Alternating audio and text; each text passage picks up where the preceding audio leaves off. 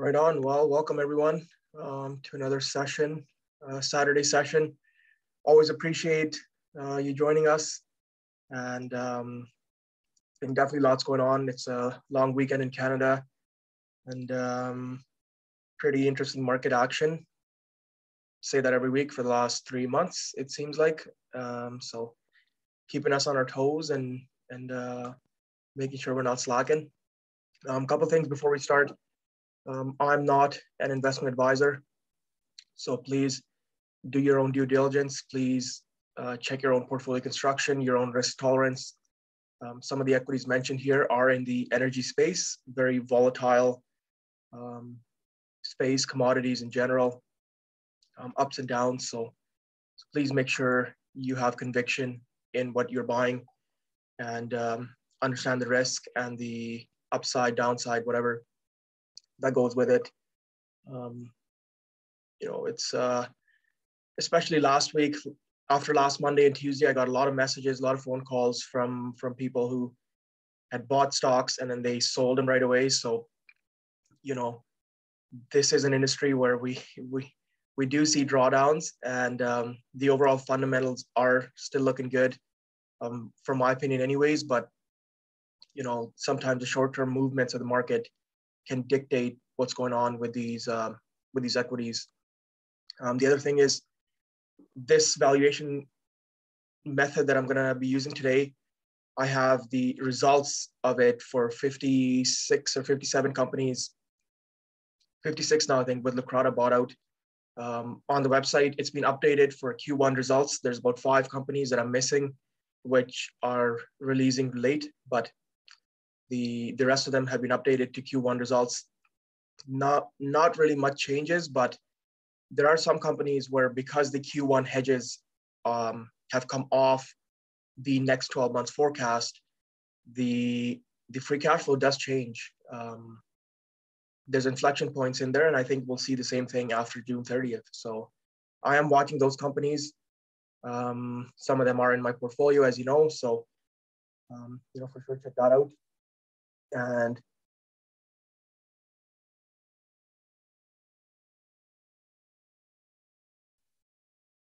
um, the other thing we have here is the uh, the website. So we have the latest corporate presentations. This Excel file slash Google Sheets is also available on the website for anyone that wants to follow along.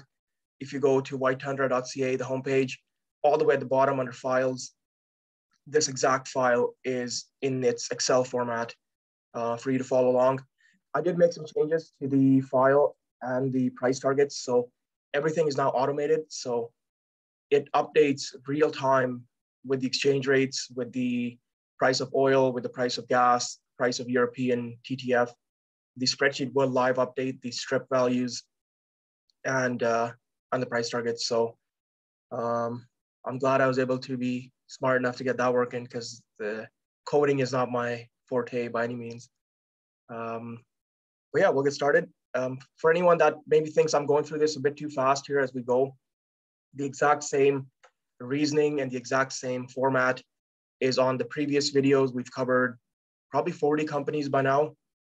So, you know, if something doesn't make sense or I'm, I'm rushing through it from, for the sake of time, please check out the previous videos and they have them in there too. Um, bit of a low schedule here for the next couple weeks after this um, until June 11th, I believe. We got a couple due diligence um, seminars coming up and then followed by the long awaited, um, what was called the North American oil markets. Because um, I do want to talk about the different basins, the different uh, reservoirs and fields out there. And I've also got some feedback on, on people want to hear some more about options. So um, that's scheduled for June 19th here. But um, yeah, for now, we'll get started on this.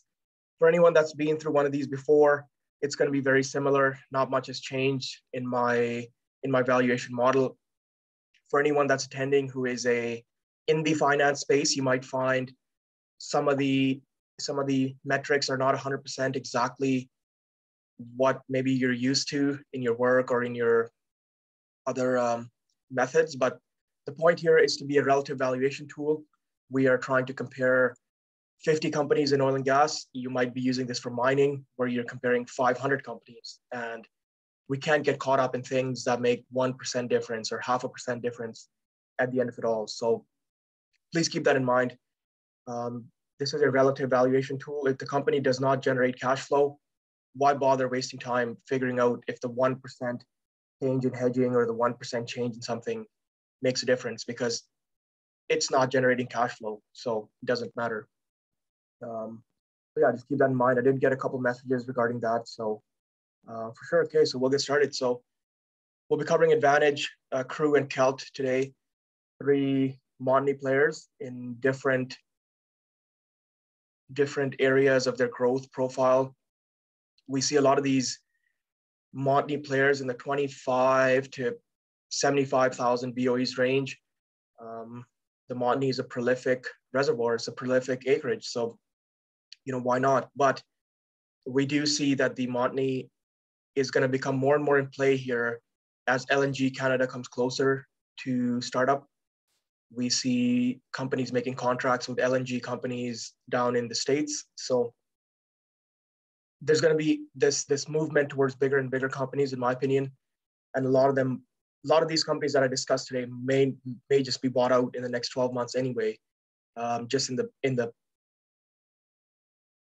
uh, goal towards efficiencies, towards scale, towards just getting bigger. So you can have these contracts, you can have these long-term supply deals, et cetera, et cetera. So um, yeah, but I'll talk about that later. So we'll get started with Advantage. So pretty simple spreadsheet here. Um, I'll just walk walk us through it, um, kind of how I do it. And something I do want to say, this, this spreadsheet is fully flexible. So if you don't agree with my way of doing things, um, you know, feel free to put your own numbers in here based on whatever metric you think um, you think is important. So so it is kind of built that way for it to be flexible as we go.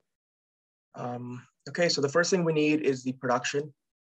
So um, basically, I go to the MD&A, so Q1 reports. Um, a lot of them are are getting built better and better. I'm finding all the relevant information right on the front page here. So right there, total production, 52946. So I'm just gonna put that in there, 52946. And we also need to break this down because oil sells at a different price than gas, than NGL, NGL being natural gas liquids, so your propanes and your butanes. So, um, you know, we're gonna break this down here and thankfully the company does that for us. So we have crude oil and condensate, both of which classify under light oil. Um, most of the oil in the Montney all of the oil in the Montney is going to be classified as condensate or light oil. So we're going to add these two up. Um, that's going to give us 2054 for our light oil production. Again, I just added this number and this number. Um, the NGL, copy it right off, 2854, 2854. And we need a liquids percentage for the rest of the gas to go in there. So the way I would calculate it, I would just take the sum of these two. So 4908 right there, um, and just put it in as a liquids percentage to our overall production. So about 9.3% of this production is liquids. If you do it manually, just add these two and divide by your total production, end up at 9%. And that fills in the gas box for us, the gas production in, in BOEs um, per day. The next thing we need is our shares outstanding. So we'll look up here.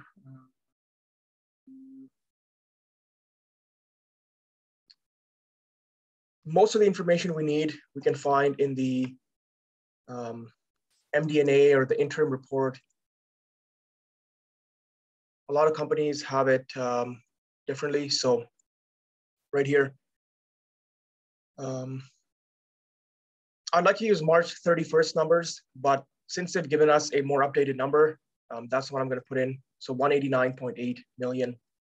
So 189.8. For anyone using the spreadsheet, keep in mind the units. Everything has to go in based on the units because it's just adjusted accordingly as we go. So um, I know I've got a couple messages that, that the spreadsheet has been messed up, but please keep in mind the, the units that we're gonna be using. Um, and then the share price. So we need the last closing share price, which, oops, um, so 9.99 on Friday's close into the long weekend. So we're gonna put that in there. Um, oops. The latest, the latest version of the spreadsheet I'm gonna be putting out here in the next couple of weeks. It actually auto, auto fills all this in, um, but I just don't like using that and just automating everything because what's the point of the seminar then?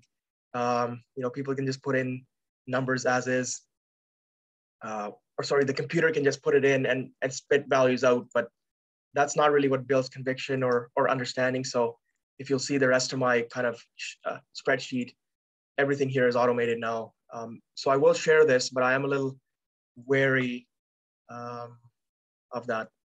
Anyway, um, so the next thing we need is the net debt.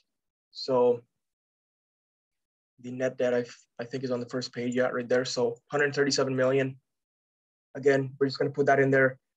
Um, so the spreadsheet fills out the white boxes. We have to put in the yellow boxes and they've given us three values here now. So the first one is market cap. So market cap tells us what's the value of all the company's shares combined. So you just take your number of shares outstanding, multiplied by the share price, we end up with the value of the shares outstanding.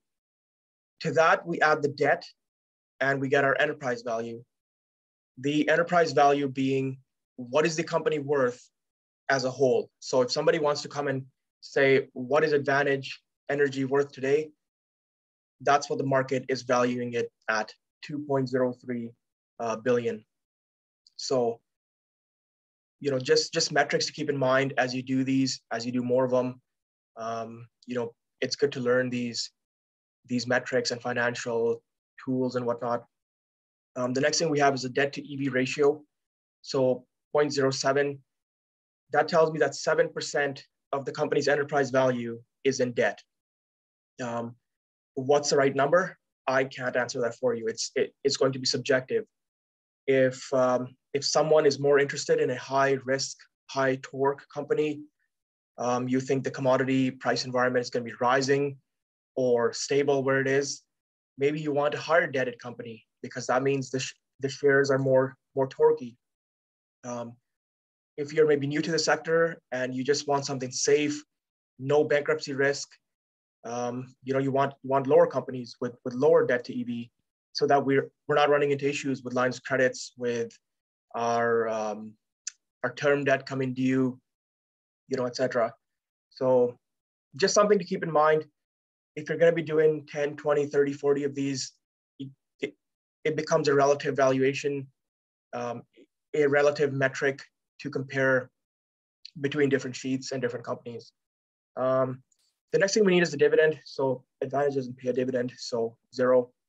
Um, if they did pay a dividend, we would just put it in there Again, watch the units, um, dollars Canadian per share annually. um, perfect. So the next two things we need are adjusted funds flow and free cash flow. So what do these mean? Adjusted funds flow is how much money did the company make after every single expense? So operating cost, uh, transportation, um, royalties, the fuel that goes in the company operators' trucks, the all the stuff on site and the office, etc. What did the company actually generate after all that? That's known as adjusted funds flow. Some companies call it just funds flow, but look for adjusted funds flow if possible. And then we have free cash flow.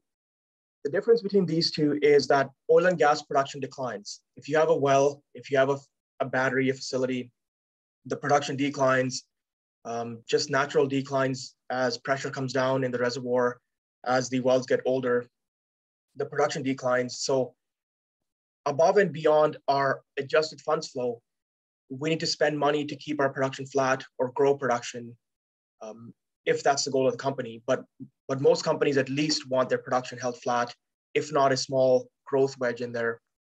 So adjusted funds flow tells us the money that the company made after all expenses. The free cash flow tells us after all the expenses and keeping production flat. So all the drilling, completions, um, facilities, etc., to keep production flat. So we'll look for these two numbers here. Uh, we have right there, adjusted funds flow is 109, free cash flow is 23. So 109 million and 23 million. And it's as simple as that. It's amazing that these companies are, are doing this now, where they're putting all the information on page one. Uh, I don't know who's been pushing for this because I haven't really mentioned it, but whoever has, uh, a big thank you uh, to you for sure. So the company made $23 million in Q1 after keeping production flat and after all their expenses. We know that. Um, however, that 23 million was made with op operationally and financially. And what I mean by that is that's not that's not just what the company made. It's what they made on the field plus what they made on derivative contracts, foreign exchange contracts, all kind of financial tools that um, that affect the actual cash flow generation of the company. So what we want to find out is what does the company actually make on an operational level? And we want to know this because the hedging and the contracts are all temporary. They change from quarter to quarter, they change from year to year. It's not really consistent. So we'll take the impact of it out and then we'll put it back in what the actual future forecasted impact is because the Q1 hedging impact is not going to be the same as Q2 or Q3 or Q4. But we want to take it out of the equation. And usually that's also in the MD&A. Um, it's known as realized derivatives, realized uh, risk management, all sorts of things. Sometimes we got to go and find it. Um, so right here, realized gains slash losses on derivative, derivatives, $10.5 million is what they lost in um, three months ended. Always make sure you're using the latest quarter of results. So Q1 would be three months ended March 31st, you know, $10.5 million. So because it's a loss, I'm gonna put it in as a negative. The description here you know, there's some descriptions as to what to put in uh, in case you're running through this and, and um, not really understanding what I'm trying to say with the, um, with the column A metric. So 10 and a half million of loss based on hedging. The actual free cash flow operationally that the company generated in Q1, $34 million. So easy as that. Um, we will adjust this once I go through here a bit and I'll, I'll share why, but I'm gonna leave it as is for now until I go through the rest of the boxes here. So the next thing we need is, okay, so Advantage generated $34 million of free cash flow without hedging in Q1, but that was at a certain pricing. That was at a certain WTI price, certain NGL price, certain AECO price. Those prices are not going to stay the same. They they change every day they change within the day. So we need to know they made the $34 million at what price. So we're going to be looking for the last quarter pricing of WTI. And usually that's found under benchmark, um, benchmark pricing. So I'll just control F into benchmark and we get our average benchmark prices here. So liquids, WTI, right there, 94.38. Um, I'm gonna take that exact number and put it in there as our last quarter. WCS would be for heavy oil. Advantage doesn't produce heavy oil. I'm gonna leave it blank. The NGL pricing last quarter. So um, right there, NGLs, they got 64.58 Canadian. We need to convert that to US dollars right there, USD. So 64.58. I'm going to divide that by the exchange rate and we get $50. Um, the last quarter's gas pricing. I like to use AECO daily, so 474. Um, you're gonna put that in there. And that's it, we're done. So if you have the other version of the spreadsheet that doesn't auto calculate the WTI pricing, basically what we're doing is we're comparing the last quarter's pricing to the strip pricing. Strip pricing meaning what is the average price of a barrel of oil for the next 12 months? Because this spreadsheet calculates a next 12 months metric, we we take the strip pricing as the next 12 months. So if I sold a barrel every month for the next 12 months, what is the price that I'm going to get for it right now, today? Um, is that the most accurate way to forecast oil price? No, but it's what we have. The company can physically enter contracts today to get this pricing for their oil if they wanted. If they were to lock in contracts for the next 12 months, they can actually guarantee themselves this pricing, um, which is known as hedging. So it's not the best, but it's all we have right now. So it's what we're going to go with. If you think WTI is going to average 150 next year in the next 12 months, you can put 150 in there. The spreadsheet will adjust accordingly. So that's what I mean by it being very flexible um, and open to customization. So how do we get the strip price? Just so people know, there's a there's a website called RBC richardsonbar.com it gives you the 12 month strip right here. Uh, if you want to calculate next 24 months, you can use a 24 month strip. Um, there's other ways to calculate this manually that I speak about in my previous sessions. So please have a look at that if you want more information as to exactly where this number comes from. Um, so we have that in there. We have the WCS strip in there, and then we have the NGL strip in there. Natural gas liquids, again, if you go to RBC, Richardson bar, it's not an exact science, but right here we have a rough NGL price, um, dollar per barrel US. It's in Texas, so it's not 100% accurate, but again, it's the best we have. Um, I'm going to put 55 because they they were already able to get $50 a barrel in Q4, um, and price have gone up in Q2 compared to Q1. So I'm thinking they get better pricing for their NGL.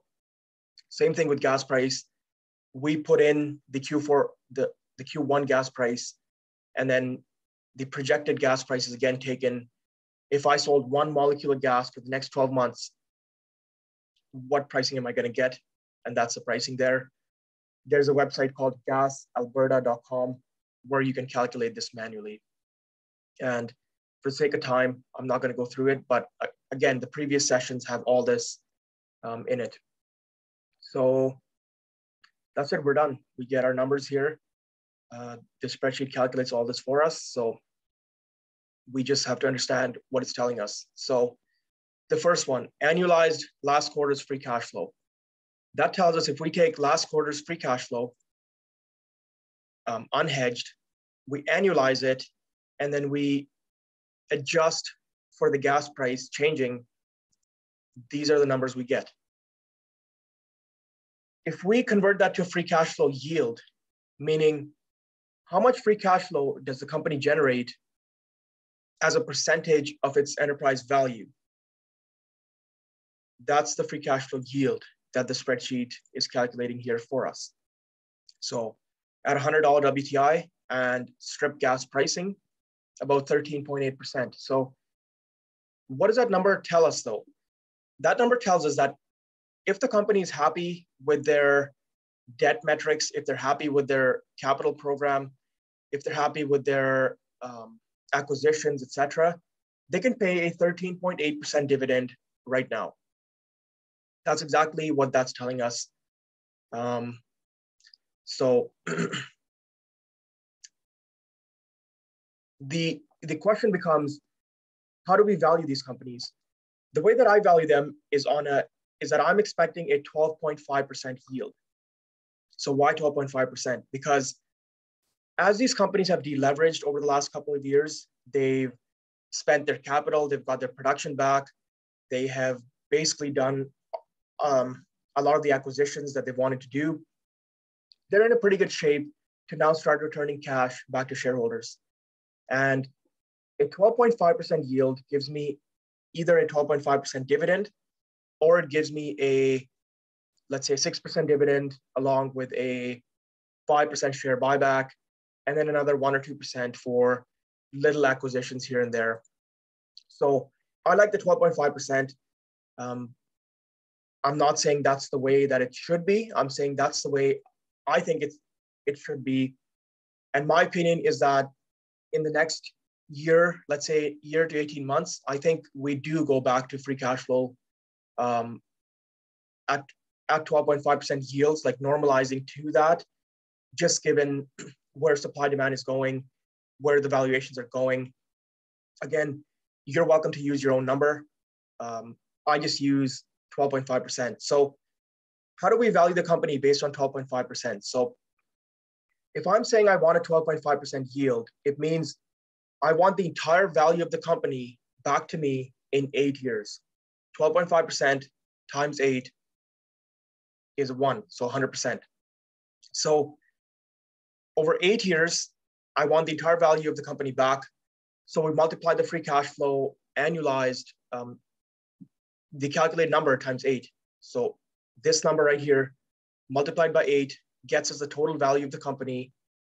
Then we subtract debt from that to get our value for the shares, our, our fair value for the shares, which ends up, again, at different WTI prices, the spreadsheet calculates it um, for us. So for anyone on the Twitter, I know you guys wanted me to say these numbers out. So um, at a $90 oil, excuse me, $90 oil, it's about 1038. At $120 oil, it's $12.50 a share. But these numbers are inherently wrong for any company that's a gas focused company. And, and the reason for that is a lot of the gas companies spend way more of their capital in Q1 than in any other quarter of the year. So because of the winter drilling season in Canada, because of the way the budgets are set up and the land and the geology around everything, companies that are focused on gas will spend a lot more money in Q1 than in the rest of the quarters. So what that means is the, the free cash flow is going to be unreasonably low if we use Q1 numbers. So how do we adjust this? Basically, I'm gonna go to their PowerPoint um, and look at their net capital for the year. So for the year, including growth, including growth, the midpoint of their capital is around $185 million is what they're projecting to spend. So $185 million per year is about $45 million a quarter is what they should have spent. What did they actually spend? Uh, spend? They spent 86 million, so almost double than what their projected, you know, rough spend should be per quarter. So I'm going to adjust for that. And the way I'm going to adjust for it is, is basically simple. I'm going to take 185, I'm going to divide that by four, so 46 million roughly. And I'm going to adjust my free cash flow number to be adjusted funds flow minus that 46 of estimated capital um, that should have been spent. So we adjust for that and we get way better numbers that actually make sense here. Um, because the reason I do this, just so I can explain this better, is if we just use Q1 numbers uh, on free cash flow, we're going to get an unreasonably low free cash flow. And if we keep using that same free cash flow number for the next 12 months, our free cash flow yield is going to look artificially low because the company is not going to spend $86 million in capital for four quarters in a row. They're going to spend 86 in Q1, which is our capex heavy quarter, and then maybe spend 30, 30, 30 for the next uh, th- three quarters, 35, you know, 30, 35, somewhere in there. So our Q1 free cash flow is going to look very low, and then our Q2, Q3, Q4 free cash flow are going to be artificially inflated based on the way these companies report results. So if we want to get a real idea of what this company is doing, we have to adjust for this capital um, change within the year. So that's exactly what I've done. Um, again, 109 minus the 46, 46 being the rough estimated capital that they should have spent um, on a yearly yearly basis divided by four. Um, so yeah, we have our numbers again based on the adjustment. We have at $90 oil and strip gas, we have 17.13 as our fair share price. At $120 oil, it's 19.24. So about a 70 to 90% increase, depending on where where the oil price is projected to be in uh, in your opinion. So um, yeah, the spreadsheet calculates everything for you. It's just about understanding what it's putting out. There's another method that people maybe like to use, which is a very conservative method, um, where we instead of free cash flow, we take adjusted funds flow and we just multiplied by four. So we put a four multiple on effectively cash flow. Um, a lot of companies right now are probably trading at two and a half, three times cash flow. Four times is probably conservative, given that we used to trade at five to seven times cash flow. But you know, four is a number. You know, the four multiple is a number that if a company is trading below four times cash flow, you know, I'm definitely thinking, okay, this is definitely undervalued here. Then we look at the free cash flow, we look at the upside possible, and I'll run this valuation on my 57 or 58 companies, and I'll pick the top five, top seven, top 10, and then do do do deeper due diligence on them and um, you know try to really understand this company. Is there something i'm missing? Is there something that's changing? Any inflection points any well results anything i can see that really um, make it worth more um, you know compared to its peers so yeah, that's basically it. That's done. Now, what we're to do, and a lot of people just stop here. They say, okay, this is good enough. I'm investing for the long, long, long term, and I'm not worried about hedging. I'm not worried about anything. So I'm just to leave it as is. Fair enough. For me, some of my investments can be more shorter term, medium term. So we're going to go ahead and put the actual impact of the hedging in here. And um, mostly you can find it in the corporate presentations so if we just scroll down right here, we see advantages, gas hedging, we see the oil hedging.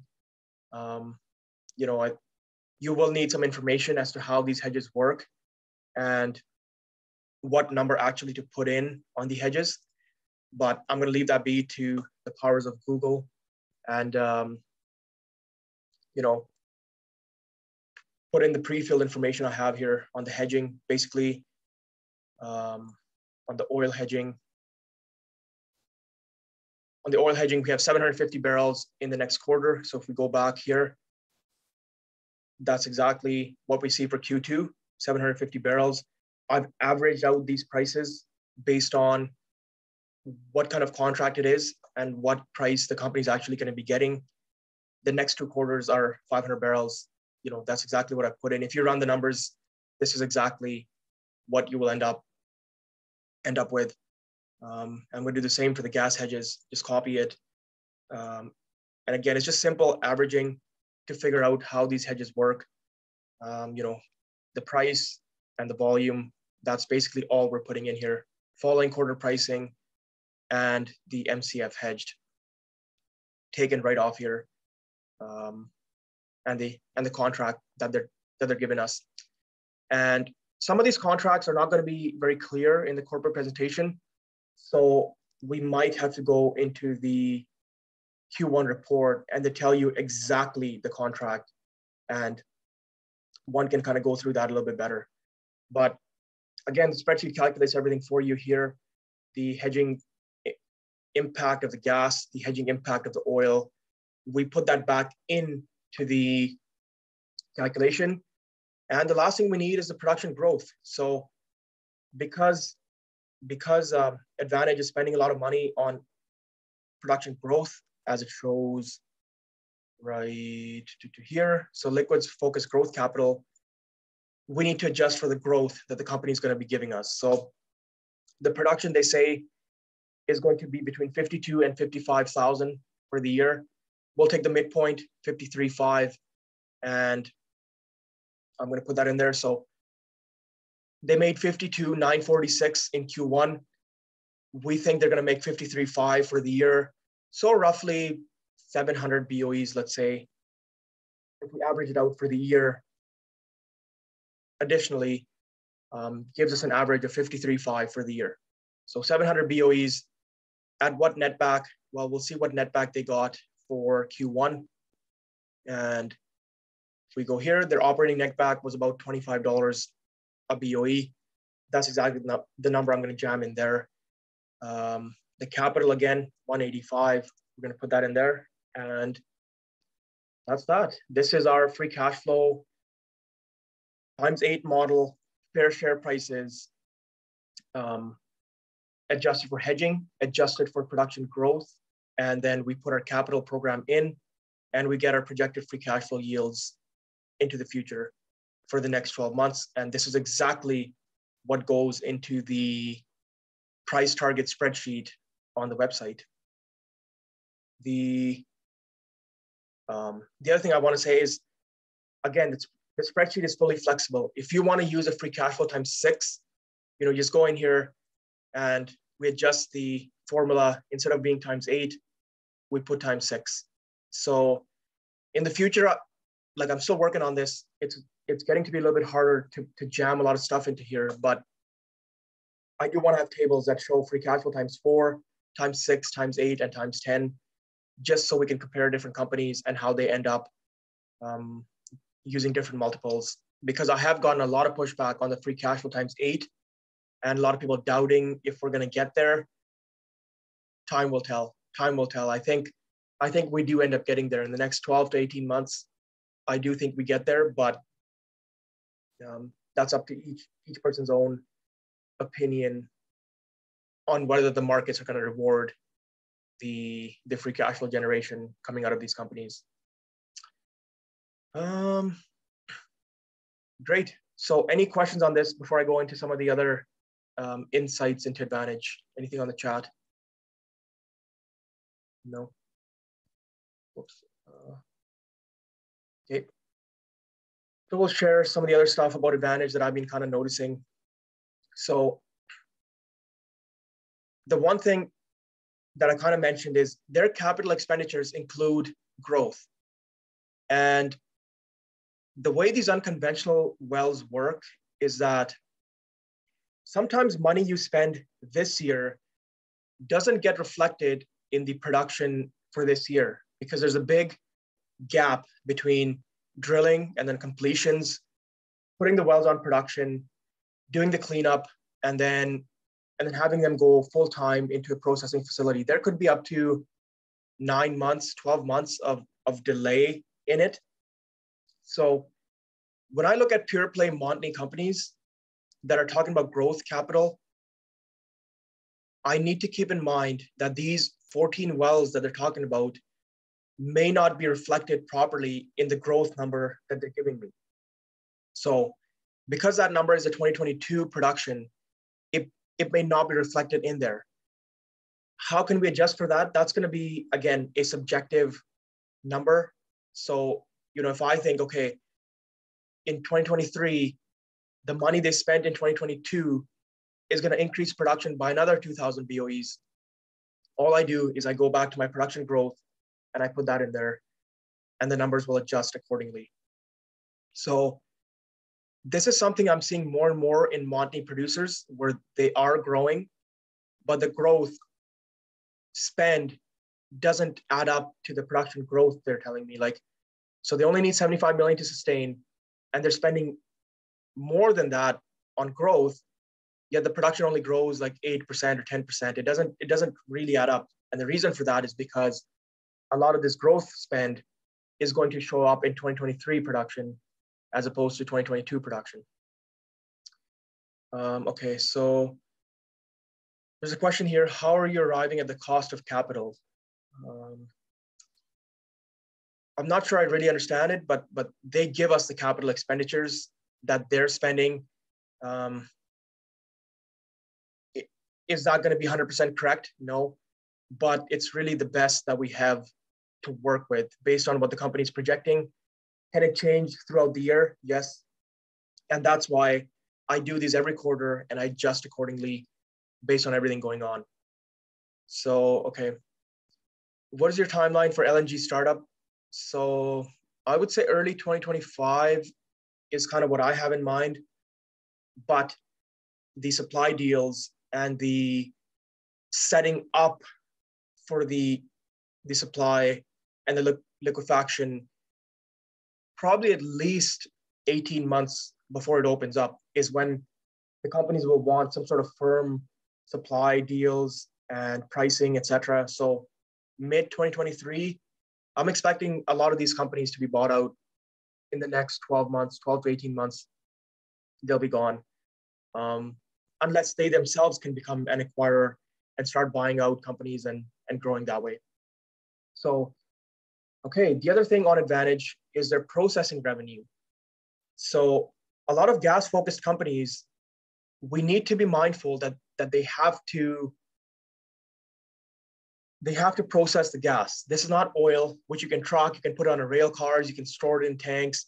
Gas has to be processed using compressors, using um, strip the NGLs out of them, etc. So a lot of gas-focused companies are paying a lot of processing fees. Advantage is in the other position where they're actually getting processing revenue because they own a bunch of gas plants. So not only do they process their own gas for pretty much free, they get processing revenue from other companies that are using their gas plants. So a really solid business model. Any companies that are going to make it, if you look back five years, seven years, 10 years, the companies that went bankrupt, a lot of it had to do also with the fact that they were paying these processing fees. They didn't own their pipelines, they didn't own their gas plants. Um, so for someone looking for a safer company, I think you know this is a great place to be. They own their own revenue, um, processing revenue, and look at their operating cost: two dollars and forty-five a BOE, just amazing. And part of that is because again, they're not paying for processing, they're not paying for uh, transportation. In fact, they're getting money for processing and transportation. So, um, okay. So there's some questions here. So, um, any views on i3? So I'll talk about i3 here at the end once we're done all three valuations, but still holding great, great company. Um, what is the weighted average cost of capital you're using to discount the cash flows? I'm not, I'm not using any number. It's, it's zero. Um, again, why, why am I using zero? I don't, I don't really have a good answer for you. That's just the way that I value these companies. I don't, I don't think the whole 10% discount model is a very valid way of doing things. It's just people just throw 10% discount into everything and think that, that that's the right way. Well, you know, if you think that's the right way, for for sure, feel free to use it. For me, it's a growing commodity. It's one that's going to be in high demand going forward. We don't have unlimited amounts of gas and oil. So I'm going to put a 0% discount on it. And I'll actually share some more as to why I think this way when I talk about crew energy, because this specifically got brought up. Um, and I just think the 10% discount model on everything is just lazy. It's, it, it's not putting in the right work as to why that 10% discount is being used. Um, so, and it's, it's especially interesting because we talk about inflation and commodities really should be going up with the price of inflation. So technically, you shouldn't even have to discount them to begin with. But again, I'm not a macroeconomist and I don't really think about these things as much. Um, so I'll wait to share my my kind of opinion on this.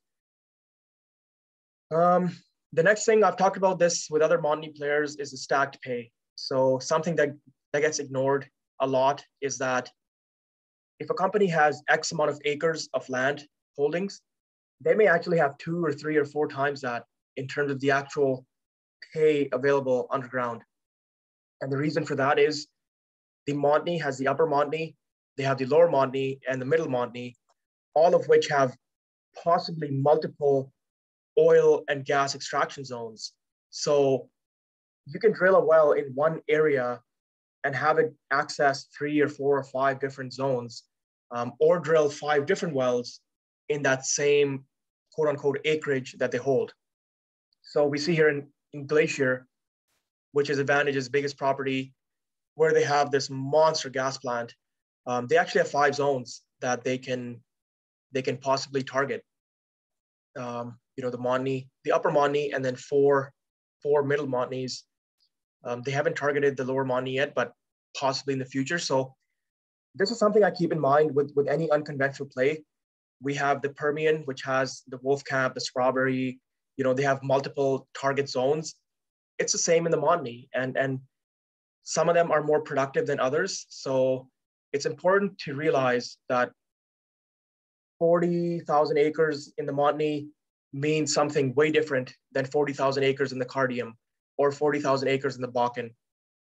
It means something totally different um, and important to keep that in mind. The wells themselves, so we have type curves on Glacier, Valhalla, Wembley. The internal rates of return are over 200% for all four. The payouts are less than eight months for all four. And this is at $3.90 AECO, Canadian. Yeah, Canadian, I believe. AECO strip is currently over six bucks Canadian. So we look at how these rates of return ramp up as the price of AECO goes up. So from 350 to $4 AECO, the rate of return on the glacier well went from 275% to about 375% in just 50 cents change in AECO. Now let's let's take in the, the reality that AECO is not at four bucks, it's at six bucks. And possibly one could make a case it's at seven dollars when we look at the the day-to-day pricing. So what does the rate of return become on these wells? Seven, eight, nine hundred percent rates of return. That's just crazy. Um, some of these gas wells, how how productive and how um, how economic they have become at these sorts of gas pricing. So just keep that in mind. Some of these gas companies, we ignore them because, oh, the gas doesn't make any money. It's the condensate and the oils, and their oil is not rich enough, blah, blah, blah. The whole thing changes when AECO is at five, six, seven dollars. Um, so, you know, if if Advantage really wanted, they could say, look, we can grow our production by 30, 40, 50% in the next year. If we just have enough money to jam back, you know, they have the inventory.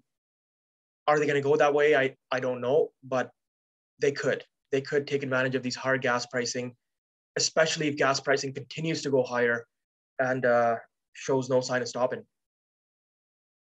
The other thing I want to talk about is the something that's coming up again more and more often. People using longer lateral lengths, as long as three miles in the Permian, even longer. Um, the Montney, the Duvernay, they're using different kinds of proppants, different proppant loadings, different amounts of stages in the well. And they each manipulate the data so that their wells look like the best wells on their corporate presentations. It's, it's always this way. They'll show it per thousand feet, or they'll show it on a overall basis without normalizing for proppant you know, whatever they need to do to make it work. And this chart is actually a really good chart because they they've showed that their peers actually have better wells.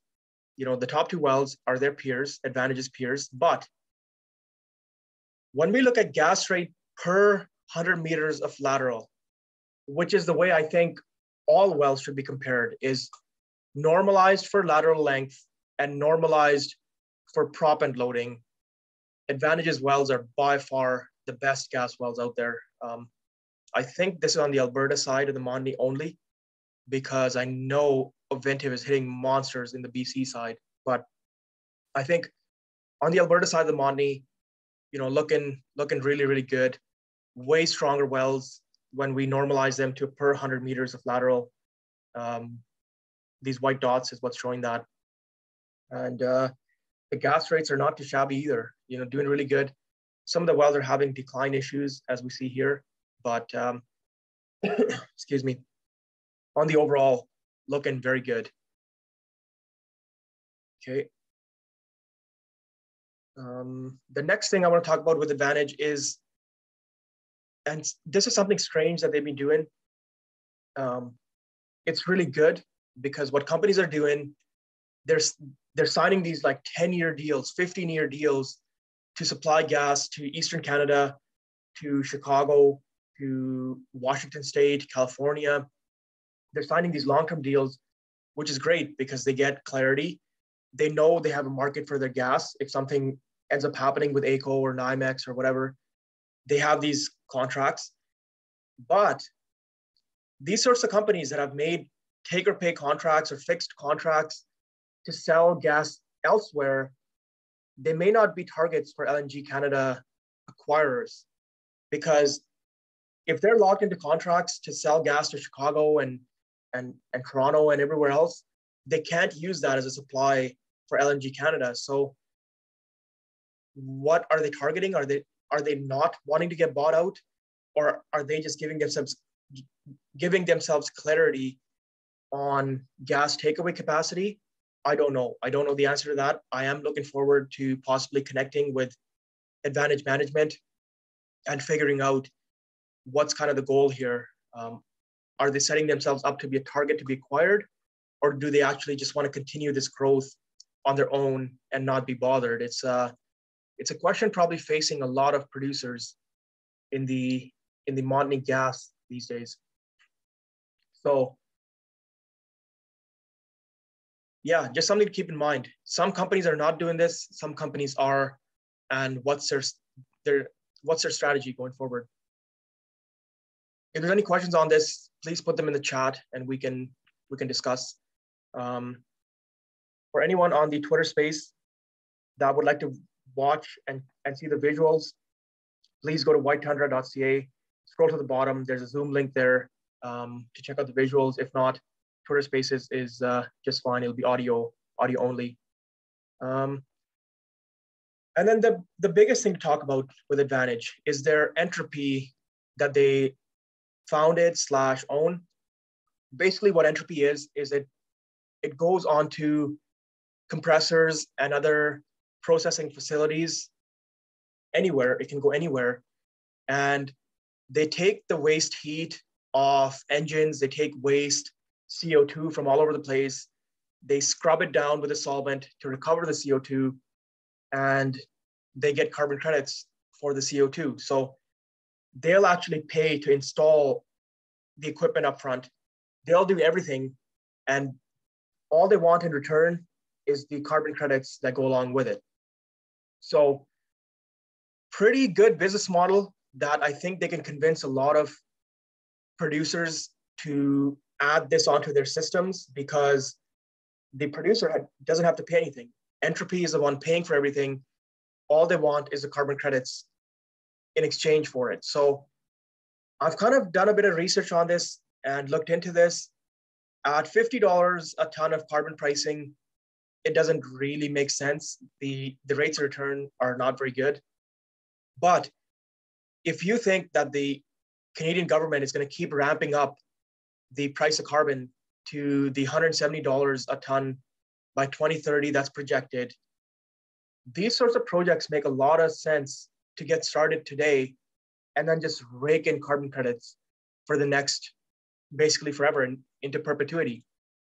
Um, the other thing is if the government doesn't ramp up the price of carbon, if the whole ESG movement dies, if there's any issues with that, what my understanding is is that the Canadian government is actually guaranteeing that even if the price of carbon doesn't go to $170 a ton, they will pay the excess for any projects that are right now being developed or coming online.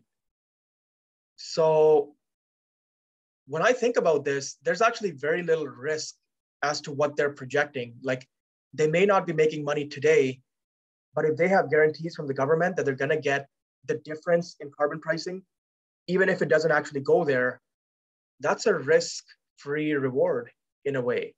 And again, I'm very early on doing my, my um, research into this. But as soon as I learned about that fact, I got thinking, okay, well, you know, basically the government subsidizing this whole thing and advantage through entropy is the one going to be making all this money um, basically forever because that pricing is going to be guaranteed well into the future. Um, now, I don't know politics. Can the next government come in and change that and take away that? I don't know. But it's great to see, have some clarity around it anyway. The other thing is Brookfield Renewables just put in $300 million into Entropy to advance their projects. So whether whether or not we believe in ESG, we believe in carbon, etc., it doesn't really matter because I'm looking at things from a strictly investment perspective. If a big name like Brookfield is coming in with an investment, um, can they possibly keep pushing these investments? Can they keep funding Entropy, make it the supplier of choice for these CO2 retrieval of compressors in the future? Possibly, for sure. These are big companies that they're partnering up with.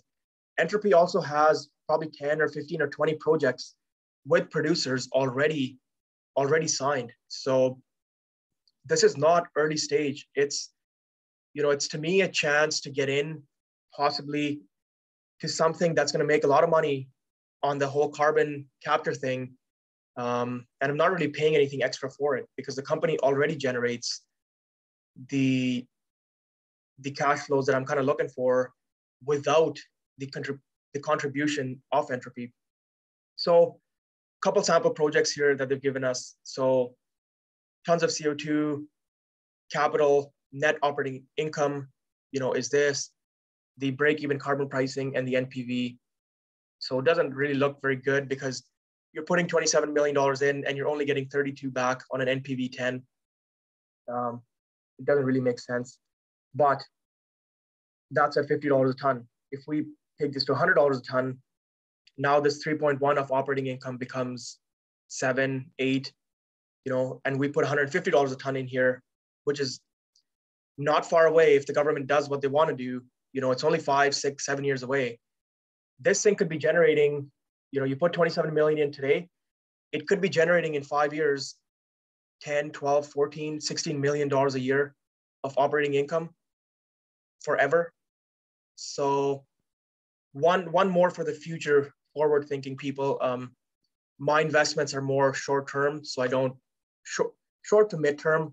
I don't look five, six, seven years out. But you know, I was talking to a couple people who are looking for something. They just want to buy oil and leave it for ten years. You know, possibly a name that I would mention to them. So yeah, that's it. The research on entropy is still evolving. So I'm doing a lot of work on trying to figure out what projects make sense, how much money are they really going to be making here, um, how fast can they get them on stream, and how much can they really scale? Can they scale this to be on every gas plant in Alberta, in BC? You know, that's huge carbon credit potential in the future. And from my time working in the industry, there's a lot of money to be made on carbon credits and doing things to um, capture methane, capture CO2. A lot of these projects are actually very economically um, make sense going into the future. Maybe not today, but if somebody wants to do it right now, looking into the future, there's a lot of subsidies and, and carbon credits and all this other stuff that can be used to make everything more um, greener, if you will. Perfect. So that's it on Advantage. We'll move on to Crew here, Crew Energy. Um, I know there's a question here on something. So why do you think LNG Canada would acquire production rather than sign long-term supply agreements?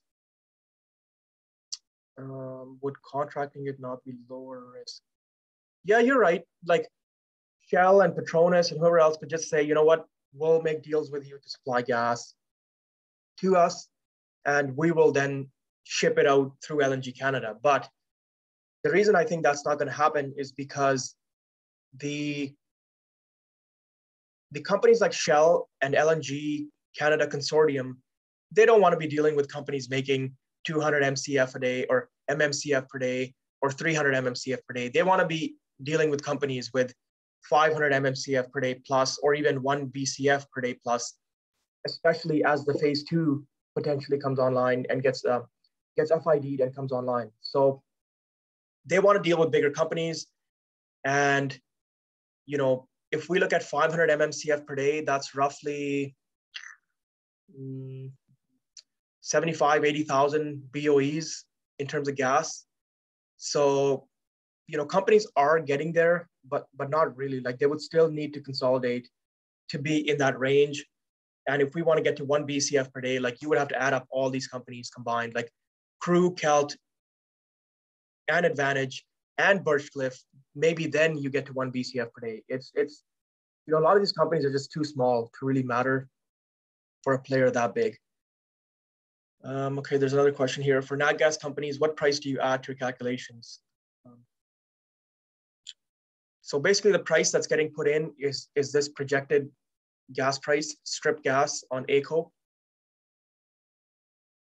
And it can be adjusted as you want. Like the number I use is just the rough strip pricing that I have that I was able to automate, but um, any number here really can be used.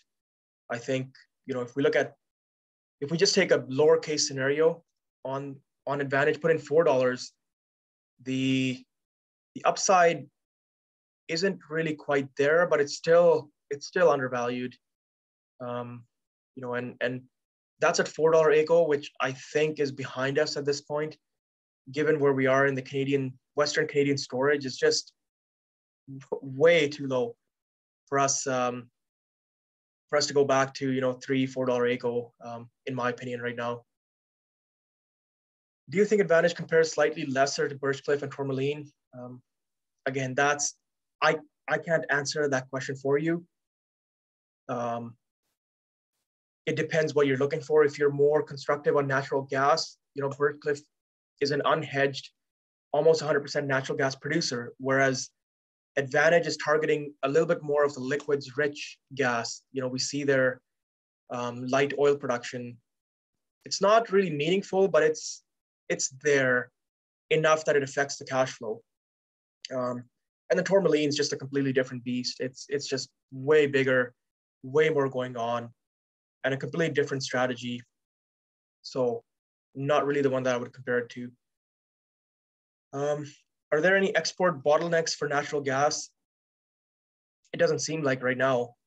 Uh, the the world is demanding every single molecule of Canadian gas they can find, and it's going to Washington, it's going to California, it's going to the LNG, it's going to the East Coast, it's it's ending up in Mexico through the U.S., it's ending up in Europe through the U.S.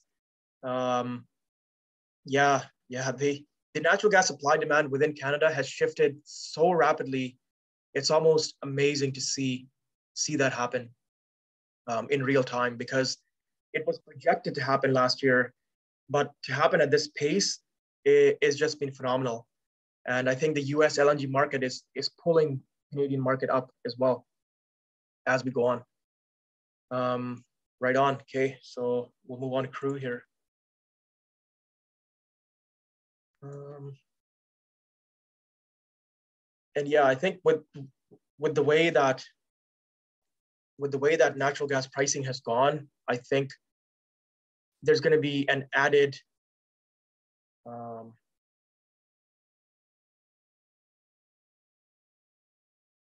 an added benefit to these LNG companies in Canada to, to get their stuff sorted and get the stuff built instead of you know dilly dallying around at because because AECO was two dollars or three dollars, and European gas wasn't really that high. Um, I think now they'll get their they'll get their gear uh, and uh, oops, and uh, build it out with a little bit more more pace. Um, okay, so Crew Energy, same thing, exact same format, exact same spreadsheet, um, just different different company. And I forgot to say this at the start, but I did send these files out that I'm using here, the corporate presentations and the financial reports to the mailing list. So if anyone thinks you're going to be attending these seminars, you want to know more, and you want to get on the mailing list for these files that I'm using, uh, please shoot me a DM or email, and um, I can get you on the on the mailing list going forward, and the Excel file as well. So, Crew Energy, okay, 33 399 BOEs per day. So I'm going to put that in. Um, production 33, 399 BOEs per day. We have our condensate 3926 and NGLs 2856. And I'm going to add the light oil again into the condensate. So we get four, uh, 4042. So light oil 4042, NGL 2856. And we're going to calculate the liquids percentage again. We're going to sum these. So 6898. I'm going to divide that by the total production. About 21% liquids. So definitely you can see that that crew is more of a liquids focused producer compared to Advantage. Again, is that good or bad? I can't answer that. That's going to be based on your subjective um, portfolio construction. Shares outstanding. Um, going to go back up here. Again, find the shares outstanding, 151 million. And we have net debt, 392 million. So 151 million shares. Net debt was 392. And look at the crew stock. So 527. Put that in there. And annual dividend, they don't pay a dividend, zero. We're gonna look for adjusted funds flow, free cash flow, um, right here, adjusted funds flow, 78 million. And I'm gonna put that in there, 78, oops, 78 million. Free cash flow, we don't, we're not given free cash flow, but basically adjusted funds flow 78 minus capital 55 gives us our free cash flow 23. Um, hedging impact, same thing. We're looking for the realized um, hedging. Whoops. So, okay. I'm going to show a different way to calculate this here. So um, basically, we have the realized loss on derivatives is $5.16 a BOE. And sometimes we have to calculate this ourselves. So we're gonna go 516 a BOE multiplied by how many BOEs they made per day. And then there's 90 days in Q1. Then we're gonna divide that by a million. That gives us 15 million loss for hedging in Q1. So again, if the company doesn't give it to you, you take your loss per BOE multiplied by the, by the number of BOEs in the quarter per day, multiplied by the number of days in the quarter, and then you put it in million dollars and you end up it that way. So a lot of these metrics the company calculates for us and they gives it and they give it to us, but it's nice to understand where that comes from and how it's calculated as well. So, you know, just sharing a different method of, uh, of how I did that. Last quarter's pricing, it's going to be the same for every company, 94.39 there. NGL is to be roughly $50 and the gas price is going to be 474. Again, the same at, that I picked for Advantage. Um, in the interest of time, I'm just going to be going through these quick because it's the exact same numbers that we use for every for every spreadsheet, roughly. There are some companies that get different pricing for NGLs, like like Whitecap and, and Arc Resources, for example. So those ones I would go in and look at the actual NGL pricing, but I know that all these Montney producers the smaller ones get kind of $50 a barrel on the on the NGLs. So that's it, we're done. And it took us literally less than five minutes. So we have our free cash flow um, yields, you know, a little bit higher than Advantage. We have the fair share prices again for the ones on Twitter. Um, for the people on Twitter at $90 and strip gas, it's 8.96 a share at $120 oil strip gas, it's 1309. Now again, Crew is also a gas company. They're spending way more capital in Q1 than they are in the rest of the year. So we're, we're again gonna adjust for this. Um, and I'm, I'm gonna find the, so right here, they spent $55 million in Q1, but what their actual capital, um, let's see if we can find their capital plan here somewhere. Um, so right here, so their net capital expenditures for 2022, the midpoint is $87 million. They spent 55 in Q1. So, you know, what I'm trying to get across is if we just use 55 as the capital in Q1 and calculate our free cash flow according to that, it's completely wrong because 55 times four we're projecting them to spend $220 million in, in this year. that's that's definitely not going to happen. They're not going to overrun their budget by 150%. That that just doesn't happen. So let's take 90 million, you know, kind of the midpoint here. Divide that by four, 22 and a half. Let's take 23. That should have been the the money they spent on capital in Q1. So 78 minus the 23 of adjusted capital spend. We'll put that in there. And uh, we see really, really solid free cash flow yields with crew, like 35%, 36% at 120 oil strip gas. Um, again, for those on Twitter, at $90 oil strip gas, 1574 is a fair share price. At 120 oil, it's 1988. So about a 4x is what the spreadsheet is telling us. Again, once we adjust for the capital. So, you know, getting to be very interesting. I've I've talked about crew and why I've been focusing it, on it a little bit more. As the hedges roll off, it becomes more and more of an interesting company.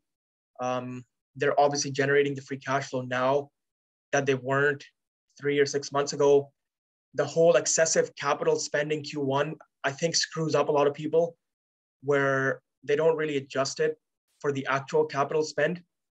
But, you know, everyone is free to use their own methods. And, um, you know, what I'm saying is not gospel by any means. So we're going to go back. We're going to put the hedging in. So again, I'm not going to go through exactly how to calculate the hedging. It's just simple arithmetic. This much this many barrels at this pricing, plus this many barrels at this pricing, and you put that in as a as a rough average in there. Um, same with the gas, we're gonna put that in there. Um, throw that in there and maybe I'll just share where the hedging is so we know.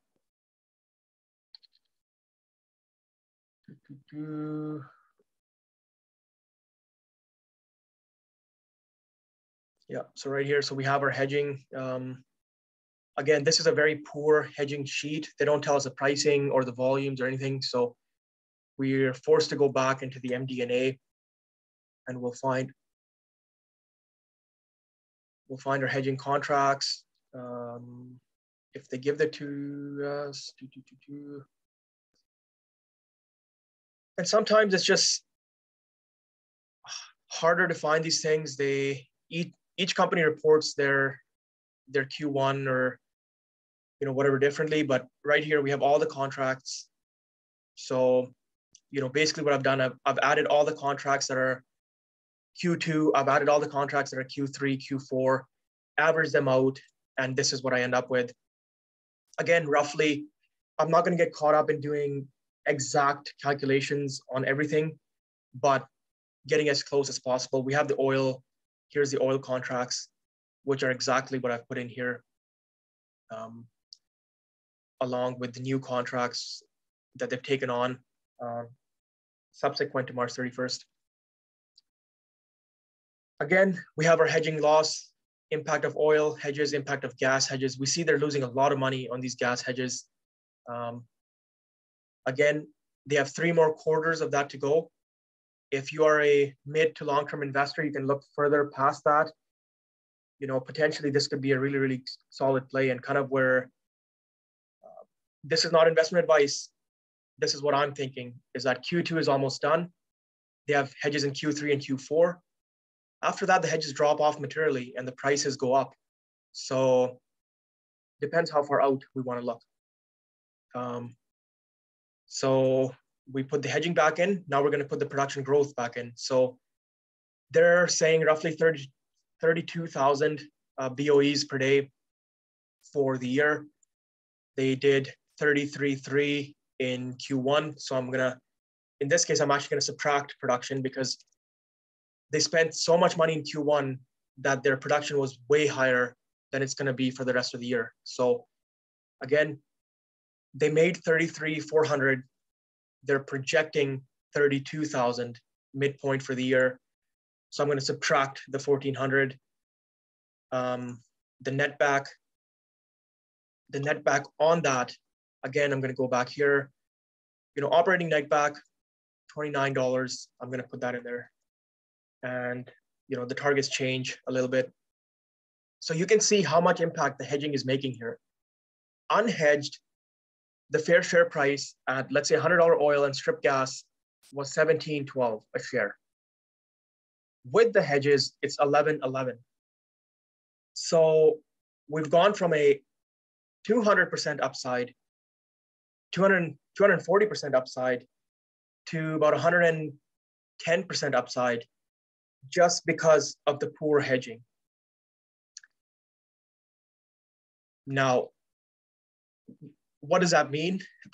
That means that the company this year is just not generating the cash flow that it should because of the hedges. But if someone is looking for a longer term time frame, for a midterm time frame, and we ignore the impact of the hedges because 2023, the hedges are basically completely dropped off. The oil is there's no oil hedged, and the gas is about a third, one third of what it was hedged at a much higher pricing. You know, potentially one could make a case for for getting into crew as a 2023 play um, going forward. Capital, we picked 90 as our number. So we see the free cash flow yield unhedged or hedged is 22%, unhedged is 31%. And for anyone that knows my portfolio allocation, my investment style, you know I like front running these things where the hedges are rolling off. Um, Surge and Spartan Delta being two that I added, and and and playing that thesis in a way with the hedges rolling off on June 30th. But it could be getting close to time where I'm looking at companies where the hedges roll off on December 31st and kind of positioning my portfolio um, towards that. Okay, so yeah, I think I answered your question about the hedges on Crew. Are the hedges coming off in second half? Yeah, so the, the oil hedges, this is Q2, Q3, and Q4. There's no oil hedges in 2023 so far. And then on the gas side, we have 90, 90 MMCF at roughly 275 for the next three quarters, including Q2. And then into 2023, we only have 30 MMCF hedged at 3.7 um, an MCF. So the hedging situation changes dramatically at the end of Q4.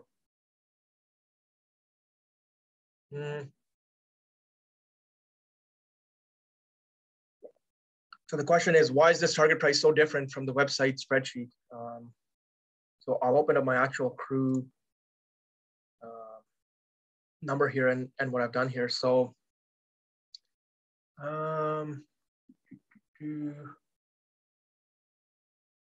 so the actual number that I have on the spreadsheet would be these numbers here. So um, gas price here, so 13, 16. What we just did here quickly, 1340. So pretty pretty close, I would say, off by a couple percent because some of the number might be different. Um, on on my own spreadsheet, I do do other other calculations. Like if I think the production growth is being understated, I'll add in more production growth. As they pay off debt, I'll add extra free cash flow here for their interest savings. If I think the operating costs are going to go up due to inflation, I'll adjust for that. So the the price target sheet on the White Tundra website is is not just the simple calculation. It's there's more baked into it, and which will be why there's slight changes um, from what from what we do here in this 15 minute calculation. So there's another question here. During the Adelaide Capital, Dale mentioned they always hedge 40% of their production. Yeah, so the one thing that I've been finding more and more is that companies maybe are hedging production. Yes, they they keep hedging 25% or, or 40%, as you mentioned, but they're waiting a lot longer. Like they're, they're waiting much closer to the date. And our big backwardation issue in the oil market has kind of gotten solved with the SPR release. So what I'm finding is like Surge, for example, they have barrels hedged in Q2 of 2023, you know, a small amount of barrels to pay the dividend. That's all they have hedged. But the upside on that is $159 Canadian. So the longer they wait, the closer it gets to the hedging. And if they time the markets to some extent, and let's say crew hedges 40% of their condensate at $160 Canadian, that's probably not the end of the world. There's nothing wrong with that, I think.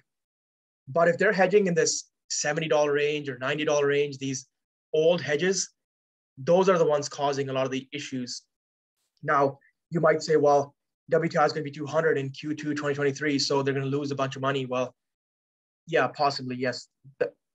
That, could happen, but at $160 Canadian, if if companies are putting in hedges because they always have or whatever justification they want to give you, I think that's not too too bad compared to companies like ARC hedging at $70 and $50. Just just that's that's the hedges that become unacceptable because they impact cash flow so much, especially because companies are paying royalties on pre-hedge prices. Now, don't forget that companies pay royalties, whether it's 20% or 30% or 40% on pre-hedge prices. So if there's a company that's hedged at $70 a barrel Canadian and they're paying a 30% royalty on $150 Canadian, they just paid $45 in royalty on something they only got 74. Add in operating cost, add in processing fees, transportation, you know, et cetera, et cetera. They might actually end up losing money on a barrel with oil prices at $150 Canadian. You know, that's where ARC has ended up. That's why people are so pushing back on their hedging strategy. But I think with uh with crew, I think they'll be fine as long as they don't hedge too many barrels, and as long as they're not going um, too low on the pricing end of things. Perfect. So I'll talk about some other insights into crew. So um, the stacked pay. I can't stress this enough with the Montney producers. The stacked pay is a complete gem. They have four or five or six pay zones in the same area. And it's doubly important because when you have your wells decline, let's say in the Montney A, you can use the same processing facility, the same pipeline, the same surface pad, possibly even the same well yeah, possibly, maybe in the future, um, and go into a different zone. You're not having to move compressors around, build pipelines, build surface pads, you know, build all this other stuff. You can go right to your existing pad, right to your existing pipeline, and just jam a new drill into a different zone and produce. It's a very, very cost-effective way of future production as kind of time goes on here. So, um, yeah, yeah, something to remember for sure is the stacked pay. And they might find some of these zones are more and more productive as they kind of do their, you know, growth cycle and delineate the lands. Some of them might end up being even better acreage. It even says right here, the lower B and C units are essentially undrilled. And they have excellent prospectivity, which is a forward-looking statement if I've ever seen one. But um, the fact of the matter is it's there. So it could potentially lead to something. The reserve life index. Crew's 2P reserves are 35 years. Um, compared to a lot of other companies we look at that are 15, 18, 20 years, their reserve life is 35 years. And you know, sets them up as a acquiree target in particular within these names um, for a few reasons. So one, Vermilion just bought Leucrotta. They paid 477 million for 77,000 acres and 5,000 roughly BOEs of production. Crew has roughly three and a half times the acreage. Again, stacked pay as well and about six times the production, what would it sell for? I think land value in the Montney is getting huge. It may not be reflected in the valuations yet. And the reason for that is because the valuations between the buyer and the seller are so far off that there haven't been many transactions to show the value of the land. But if we ignore production and we look at just acreage, Crew's just Crew's acreage is worth 1.6 billion dollars with the with the associated production with it. The 5,000 for 77,000 acres, roughly 20,000 for 260,000 acres. You know, if we just take that, it's worth 1.6 billion. We bring that back to share price. It's about nine, nine, 10 bucks a share, just there. Then we add in the fact that Crew actually has more production than what the Vermilion slash Leucrotta acquisition tells us um, to use as a proxy. So you add in more value for that. And then we add in the fact that Vermilion's or Crew's land is outside the Blueberry claim area. So a bunch of their land, and thanks to QE uh, Buble for this, for this chart, but the a, lot of their land is outside the Blueberry claim area. It's not subject to ramp up issues, issues with permits and drilling and all this other stuff. So the land is potentially worth more than the Leucrotta land, which we see here, which is completely inside the Blueberry Claim area. So, you know, we just take a rough number. We have a corresponding transaction as to what's happened, and we bring it onto crew. and you can see how the value just off this transaction is eight, nine, ten bucks a share. We add in the extra production. We add in the fact that it's sitting outside the Blueberry Claim area, et cetera, et cetera. You know, that becomes a subjective measure at that point. Um, the other thing I want to talk about crew is their condensate growth.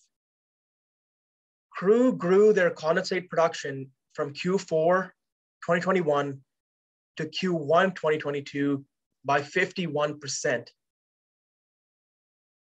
There's no other company out there that can tell you they grew their light oil production by 51% in one quarter. Now, the raw barrels, it's only about 1,400 barrels a day, and it's going to decline but again, the market has not realized this, that the condensate wells that crew is putting out are way more liquids rich than some of their competitors in the area.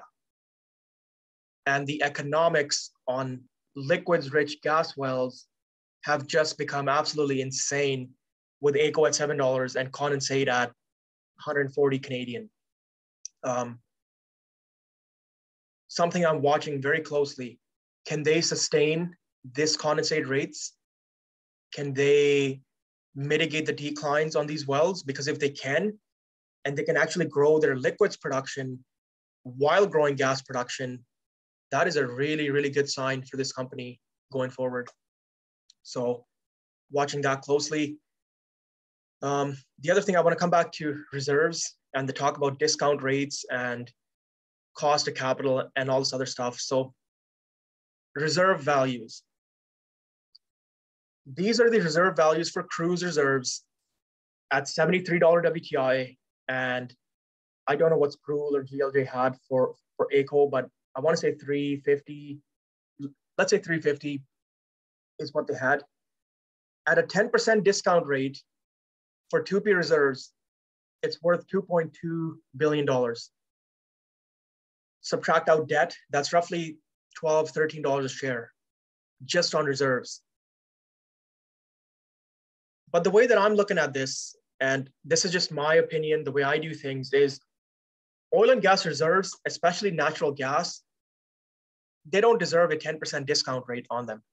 Natural gas is the fuel of the future. It's an undersupply. The demand is basically through the roof everywhere. You know, there's no country that's lowering natural gas demand literally all over the world it's going up and we don't really have that many reserves um, you know out there so i don't think the 10% discount rate is fair at all. I'm going to use a 5% discount rate. At a 5% discount rate the value of the company goes from the $12, $13 a share in reserves to about $21 a share in reserves. Is that a fair way to look at it?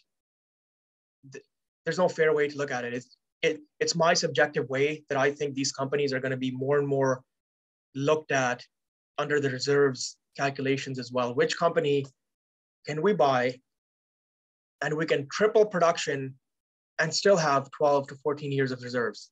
That's what the companies, the acquirers, are going to be thinking. They're not thinking we'll just keep keep production flat for the next 40 years. I I don't think that's the way they're thinking. If a Shell or a Petronas or a Tourmaline or ARC, whoever ends up buying crew, they're thinking, okay, we can jack up production outside the Blueberry Claim area. We can double production and still have that, that production for the next 20 years.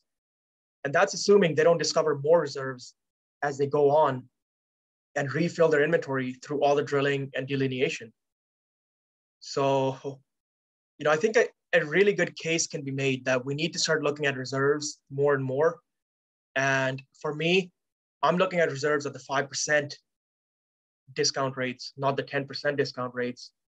Um, and the value that I'm seeing in these, some of these gassy, liquids rich Montney players, you know, there's a reason I'm in ARC Resources. There's a reason I'm in Spartan Delta.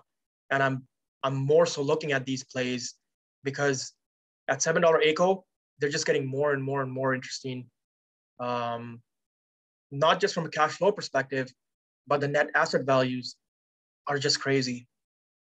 So I'll leave it at that. Um, the last thing I want to talk about with crew, well, two last things is the CEO owns roughly 4% of the company.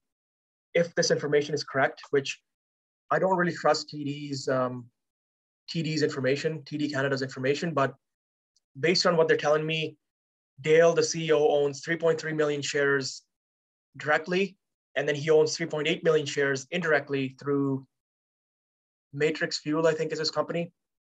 So you add those up, that's almost 5% of the company that he owns. Um, it's easy to trust a CEO that has 5% of the company that rode the wave all the way from 14 cents or 20 cents, whatever crew got down to, all the way up and was buying shares hand over fist the whole way through. Same with John Bruce on the board, was buying shares all day long, basically throughout 2020 and even 2021, I want to say. So it's easy to trust people who put money where their mouth is and uh, and walk the walk.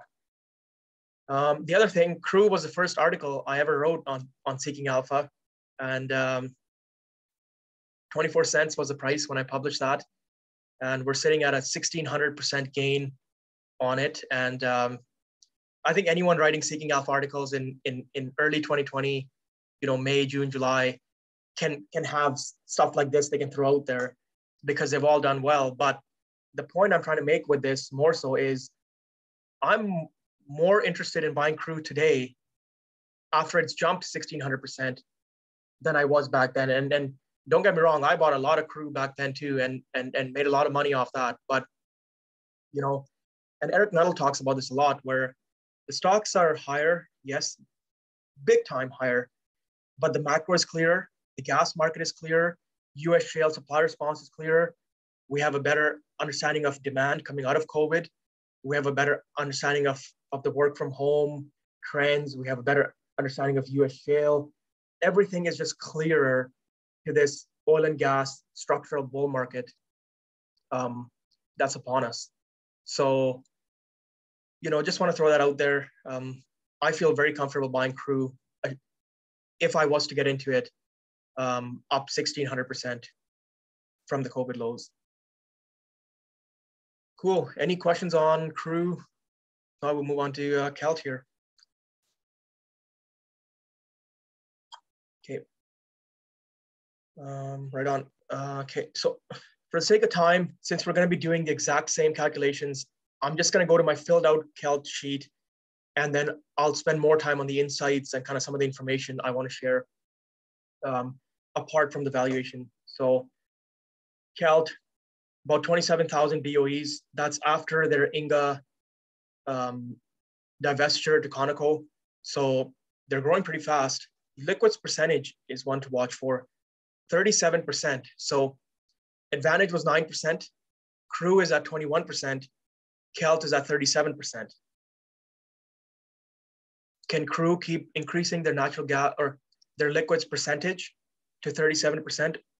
They're kind of in the same area with Kelt, other than the Charlie Lake stuff. The other stuff is pretty close to each other. So, you know, it's a proxy where how high can the liquids production really go in a company like Crew, in a company like Advantage. You know, it's a nice thing we have other companies to compare with. Like um, light oil production, 6,000 barrels a day, NGLs, 4,000, you know, shares outstanding, about 189 million, low debt, very, very low debt, only 35 million of debt. The debt to EV ratio, 0.03, basically debt free. Um, the last quarter's adjusted funds flow, 74 million. Free cash flow was only 8 million, even after the adjustment, because this company is in a hyper growth phase. They're spending a lot of money on capital. So just keep that in mind as to as to kind of what's going on there. Um, strip pricing same, hedging impacts. I've put in the exchange rate, the the last quarter's gas price. Everything is the same as the previous two examples. The the same format, I should say. Mm. so we end up with a company that, you know, lower lower free cash flow yields for sure. Um, it's growing. There's lots happening. They just did the asset sale. It's in kind of this weird mesh where they're growing so fast that the free cash flow just isn't there right now. They're jamming that back, basically all of it back in the ground to keep growing. So, you know, not not the same upside based on what the calculation tells us, but we're going to go back and, and add in the growth here. So very low hedging, only um, one quarter's worth of hedging here. The rest are, I believe, are put options and other sorts of, sorts of stuff that are above market pricing. So we don't want to put hedges in that are above market pricing because that's not that's not the way these hedges work. If it's a collar and the price is between the collar, they don't get the max price. They get the price within the collar, which would be just whatever price is going, the going price at the time. So I don't put those hedges in. I've added in the production growth here. Uh, 3,600 BOEs is what I think they're going to add. Possibly could be upped here, depending on well results and the growth netback.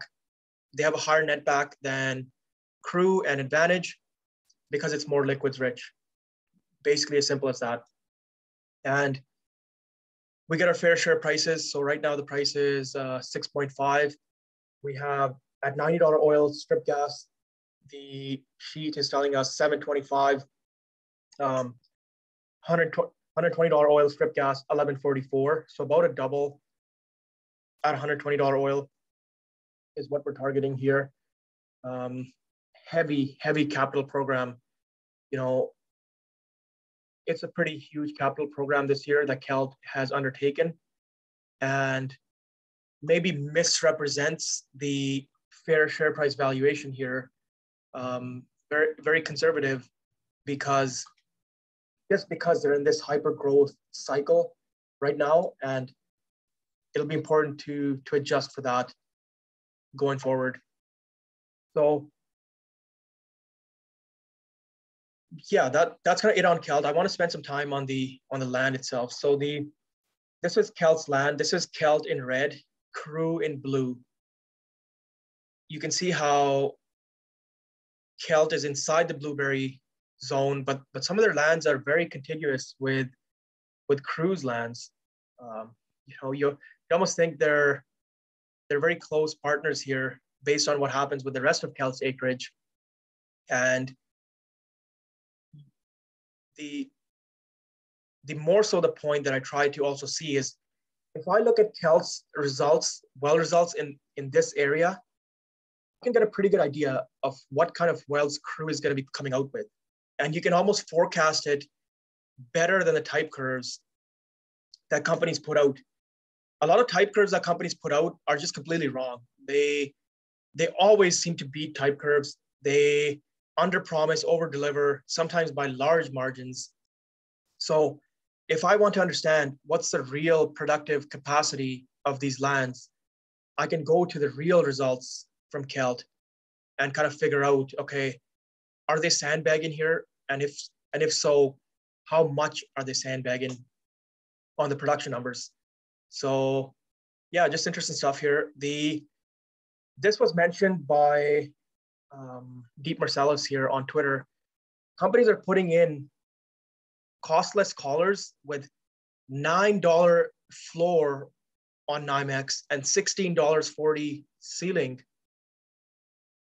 Like this stuff makes no sense when you think about it from a financial perspective.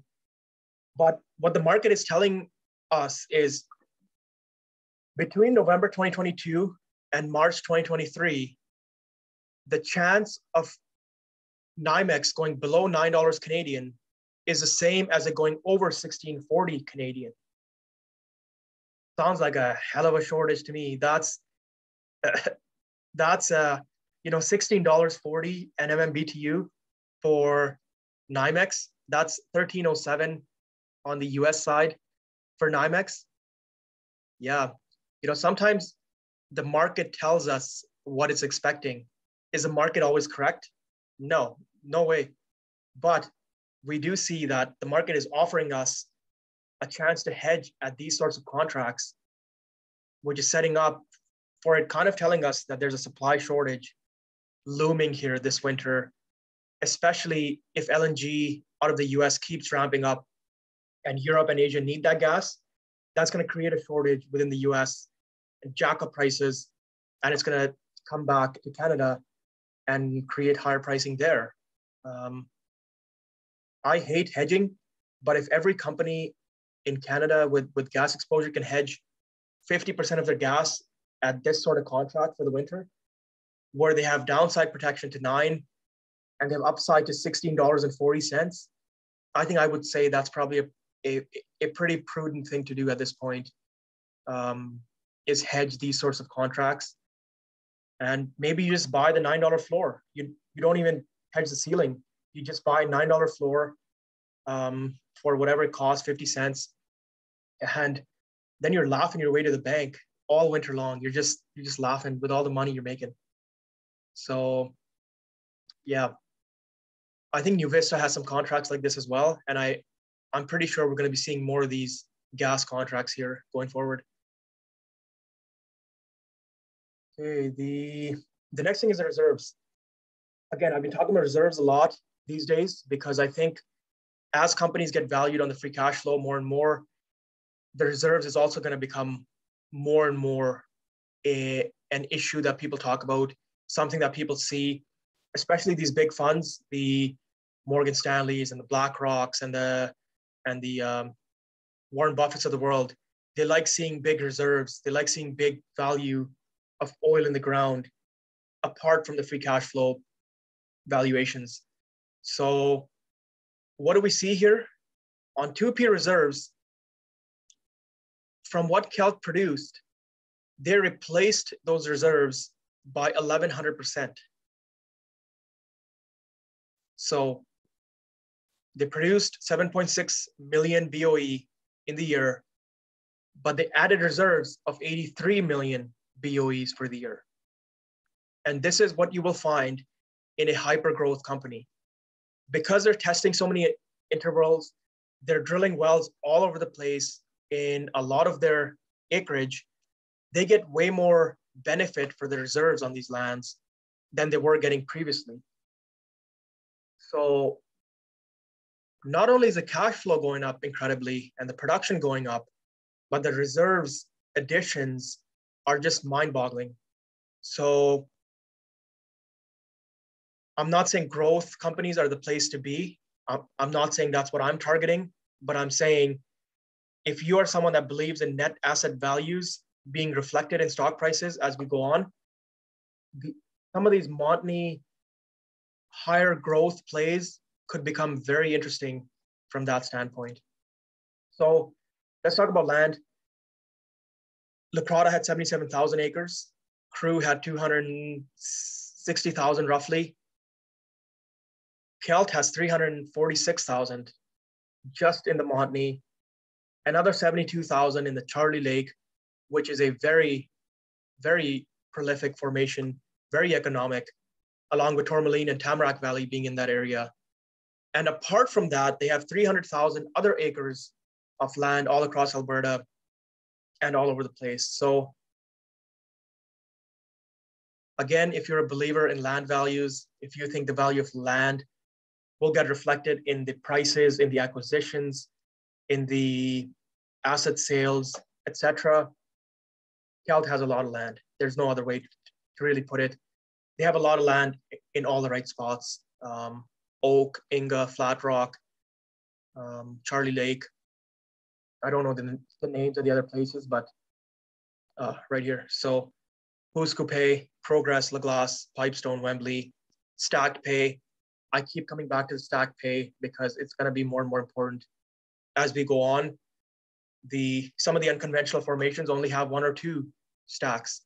The Montney looks like there there could potentially be five or, or six zones in certain areas. Very deep, very high net pay zones, very productive zones with high pressure and some with high liquids rich content, which just sounds like money, money, cash. That's all it sounds like to me. So yeah, um, okay. The next thing with is their wells. They actually give us the well results, which is awesome, very transparent. And the reason I bring this up is not because Kelt's wells are anything extraordinary. It's for is to make a point on the NGL and oil number, the percentage. So we see here, Kelt has some wells that are, and the, all these wells are in the same township and same range. They're very close to each other. Some are making 22% oil and NGLs. Some are making 52% oil and NGLs. So despite the recent increase in gas price, natural gas price, we still want wells with higher liquids content because oil just makes more money than gas at this point. I think they don't get even until gas gets to 18 $20 um, a gigajoule. So, you know, oil is still making more money. We still want higher oil rates.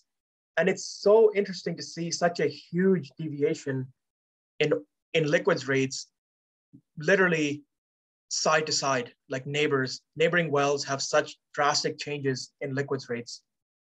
And one to watch for, watch for as Kelt drills new wells, are they hitting more of these 40% liquids wells? Or are they hitting more of these 25% liquids wells? What we see here is the wells that started off with high liquids rates are actually maintaining those rates a lot. So this well went from 49% in the last three months to 52% in the last two weeks. The 45% went to 41s. But the wells with low liquids rates already, the 33% and the 35%, have declined even further on their oil and NGL rate. So there's two different kind of wells happening here. One is the high liquids rate wells that are performing really well as the well declines. The other wells are the gassy, low liquids wells that are declining very fast on the liquids rates based on the way Kelt goes here, which kind of wells they can end up drilling will make a big difference to the cash flows and the production mix of Kelt going forward. So why is this important? Because it's not just Kelt that this applies to. This applies to any unconventional play. So we talked about crew advantage. You know, if you have the actual well results, we can track them and come to a conclusion. What kind of wells are they drilling? Why is it doubly important? Because the Permian wells, the big growth on the macro side of oil supply for the last seven, eight, ten years, if we run the same numbers on the Permian wells, what you will see is that the initial oil and NGL rates are way worse than they were 2016, 2017, 2018. And also, they're gassing out a lot faster. So they're unable to maintain their oil and liquids rates. And it's just mostly gas coming out. Not mostly gas, but the gas rates are much higher than they used to be on the 2017, 2018, you know, et cetera wells. So with unconventional shales being kind of the big growth driver for the last decade, this will be a macro point going forward as to can these wells actually produce the same amount of oil that they used to? Or do they become like a um, gas gas wells now with streaks of oil, 22% oil in there, 22% oil and NGL, which which to me tells me it's only like 10% oil or 14% oil. That's not an oil well, that's a gas well at that point. So on the macro side, this stuff fascinates me watching companies, watching their gas oil ratios, watching their um, change in gas oil ratios from the first month to the third month to the ninth month, you know, et cetera, et cetera. Um, yeah, so just thought I'd throw a little macro point in there. And we talked about Crew Energy and how much insider ownership they have. Uh, David Wilson, the CEO and president of Kelt, owns about 16%, I think, four, 14 or 16% of the float. And look at the salary in 2021 and bonus $30,000. That's all he took because everything he has is in the company. Everything is in the company's shares. It's the belief in the growth and his leadership and the company itself and their assets and their acreage, etc. that that he's going to do well here. And that's what he's banking on. And there's nobody who walks the walk more than than David Wilson here. You know, you could maybe say George Fink, um, you know, some of Pine Cliff shareholders, maybe even Crew Energy could throw in there, but to own 14 to 16% of the float, that that shows courage, that shows belief, that shows conviction in what you're doing here.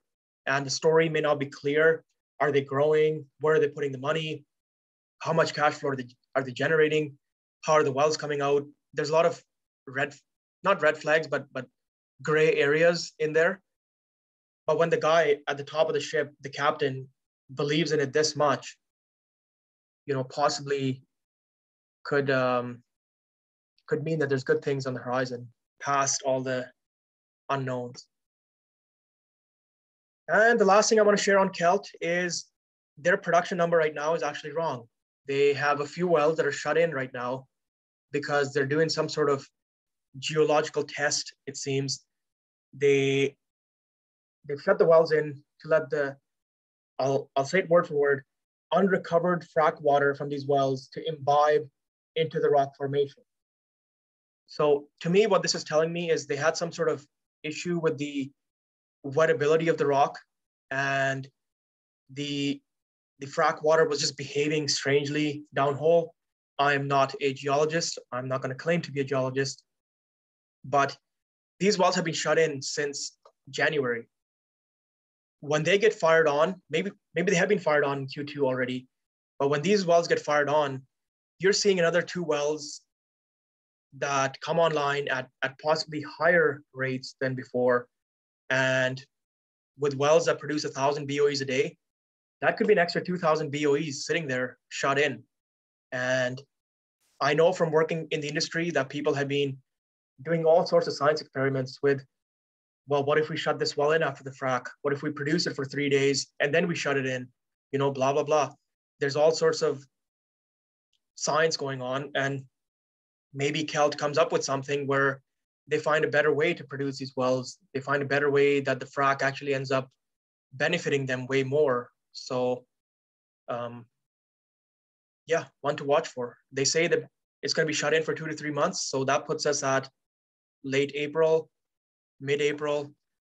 Um, so so looking forward to see how these wells produce after this this issue, or maybe it's a benefit in disguise. Okay, so that's basically it for the valuation seminar. I'll open it up to questions now on the Zoom. And unfortunately, I won't have time today to take questions on, on Twitter or to leave the chat open, but um, yeah, let's let's go to the questions on uh, Zoom here first. So what are RSUs? So I think RSU means restricted share units where they get they get these this amount of shares if they meet certain targets or they vest two or three or four years in the future. So they're just they're just share share options or warrants, I guess, is, is what you can see them as. So if I had $20,000 spare, what stock would, would you buy above others on Monday? Um, So my portfolio construction is totally different, and I'm I've been targeting more of the junior companies these days, and doing due diligence on them. So I don't think the answer I'm going to give you is going to be representative to what the average investor should be buying. But um, you know, I'm seeing lots of great names these days. I'll put it this way: there was a there was a portion there where maybe April I was kind of thinking, you know what, I'm not really finding any deals, but I'm back now where I'm finding good deals, especially as the Q2 hedges are rolling off. Don't forget, we only have a month left in Q2. So especially as I'm redoing my numbers and taking out the impact of the Q2 hedges, I'm finding lots of lots of great deals. And you know, as you know, I'm targeting two things: the conventional low decline, heavy oil plays, and then the Montney condensate plus natural gas plays. Those are the two places I think have the highest place to benefit. And as inventories decline, as the macro gets clearer, I become more and more comfortable investing in companies with higher debt and higher decommissioning liabilities. So I'll just throw that out there as well that the macro does shape my view on what sort of companies I'm comfortable buying. So there's a comment here. Michael Blair had positive comments on Crew. Yeah, for sure. No, I, I respect his opinion a lot. And I know he's positive on Spartan Delta. And Crew is kind of very similar, just a smaller, smaller Spartan Delta in a way, hitting banger wells um, they're ultra rich, ultra rich condensate play. I think they call it ultra reach horizontal wells are actually coming out really, really well. The, the, the condensate production has been over my expectation for sure, and the gas production for that matter. And if I can get an extra two MMCF per well at $7 AECO, great. So there's a question from Vic. How would you consider versus Pine Cliff? I don't think you can compare Pine Cliff. Pinecliff is a dry gas play. Like they do have the Pekisko acreage, but they don't have these huge Montney wells. Uh, Pine Cliff is just a small, I don't want to call it small, but it's a steady player producing dry gas with very low decline rates, very strong management, very strong insider ownership, um, more of a long-term play. You know, you just hold it, and if you believe that the price of natural gas is going to stay high, that company is going to do really, really well. On the other hand, these three names we talk about today are more of a growth growth play. So, Advantage is your lowest growth play. Crew would be maybe second, and then Kelt would be your your your hyper growth play. And just depends where one wants to be in that cycle. You know, it's um, we see that companies that are putting out dividends and share, and maybe share buybacks are getting rewarded by the market today. But I would say that some of these companies that are growing and maybe acquiring and not paying down debt, but instead using that debt might get rewarded in the long term. These companies probably end up doing better long term, but it again, it all depends on your investment time frame, your portfolio construction. I unfortunately can't answer that for you, but I do see a very bright future for Canadian natural gas that's becoming clearer as we go, especially because I learned recently that coal inventories are low all over the world. Before I was thinking that as natural gas prices go up, people will fire up coal reactors again, or um, yeah, coal, coal for power generation again. But I recently learned that there is no coal. The, the coal inventories are sitting very low. And countries like Canada, Alberta, they're not going to let people fire up coal reactors again anyway, despite the price. So sounds bullish to me, but just my opinion. So, okay. Whitecaps NCIB. If they didn't do a, a block purchase on Friday or any sort of purchase, I am going to be a little bit disappointed because they did double their NCIB in April or March. And I thought that was looking for a big block buy before this one expired. But you know what? I can't really blame them. I, they've been kind of sitting stable there, digesting the acquisitions. I know their wells are panning out really good, but they really need to shock the market now. If if they want to be a top performer in 2022, they need to shock the market. The the dividend needs to be doubled, or they need to come out with a huge substantial issuer buyback. You know, something that that really jars the uh, the traders loose, if you will, and um, gets it on its next leg up. So I still think the next leg up is going to be the big zero ESG funds coming in, the zero, not zero ESG, the the net zero funds coming in who don't want any exposure to oil, but they're they're forced to have exposure because it's the only sector in the green, and they'll end up buying companies like Whitecap, which have the the carbon sequestration and and whatnot. And yeah, management, I think I think management needs to rock the boat here a bit and and get something going, or they need to market market their CO2 net zero thing a lot better. They need to talk about it more. They need to be on on on the news networks talking about it, getting people exposed to this because 99% of people still think of Whitecap as dirty oil sands mining. That's the fact. It's only a certain amount of people that know what actually is going on here in in oil and gas. So you know the world is waking up but we need we need it to wake up faster if all you're looking for is a share price uh, bounce. I3 yeah no really big fan of i3 i think they're doing great they just expanded their capital program which i'm on the fence with but with the wells they're drilling with the paybacks they're getting, I think it's uh, it's solid. Uh, no no complaints, and we have the free option on the North Sea drill here. Uh, September sounds like September, and I think if that hits oil, that's 15, 20, maybe up to 30, 40 cents a share, just worth of hitting that North Sea drill, uh, because they do have other lands there, and hitting one commercial commercial zone means there's more there. So it almost becomes a growth play at that point in the North Sea as well. So yeah, so Dale has an explanation here on the RSU, restricted stock unit. So yeah, basically employee bonuses based on certain targets, yeah. Okay, anything about i3 now that Bybrook has locked us around 0.435? I actually don't know what that means. I'm I'm assuming that they either have put a floor on the price or a cap on the price. So if you maybe want to reach out to me or DM me exactly what, what you're talking about, I would appreciate that. ESN earning results, any thoughts? Um, not really. My my view on service companies is still the same. I I don't see them making any money.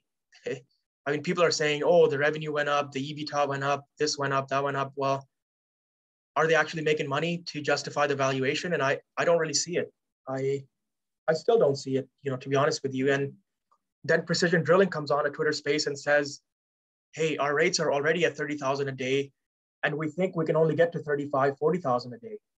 And I'm thinking, so where's, where's really the upside? Like, I understand that the extra five to 10,000 is all basically free cash flow, but is that enough to move the needle? Like, like PD is already valued at a very very uh, generous valuation, if you will, based on the free cash flow they, they generate. And then people also forget the service companies have capital cost. They, they can say EBITDA and all this, but they have capital costs. They need to maintain their equipment. They need to maintain their steel. They need to spend money on training, hiring, all kinds of stuff, buying new rigs potentially that people just ignore conveniently in these calculations.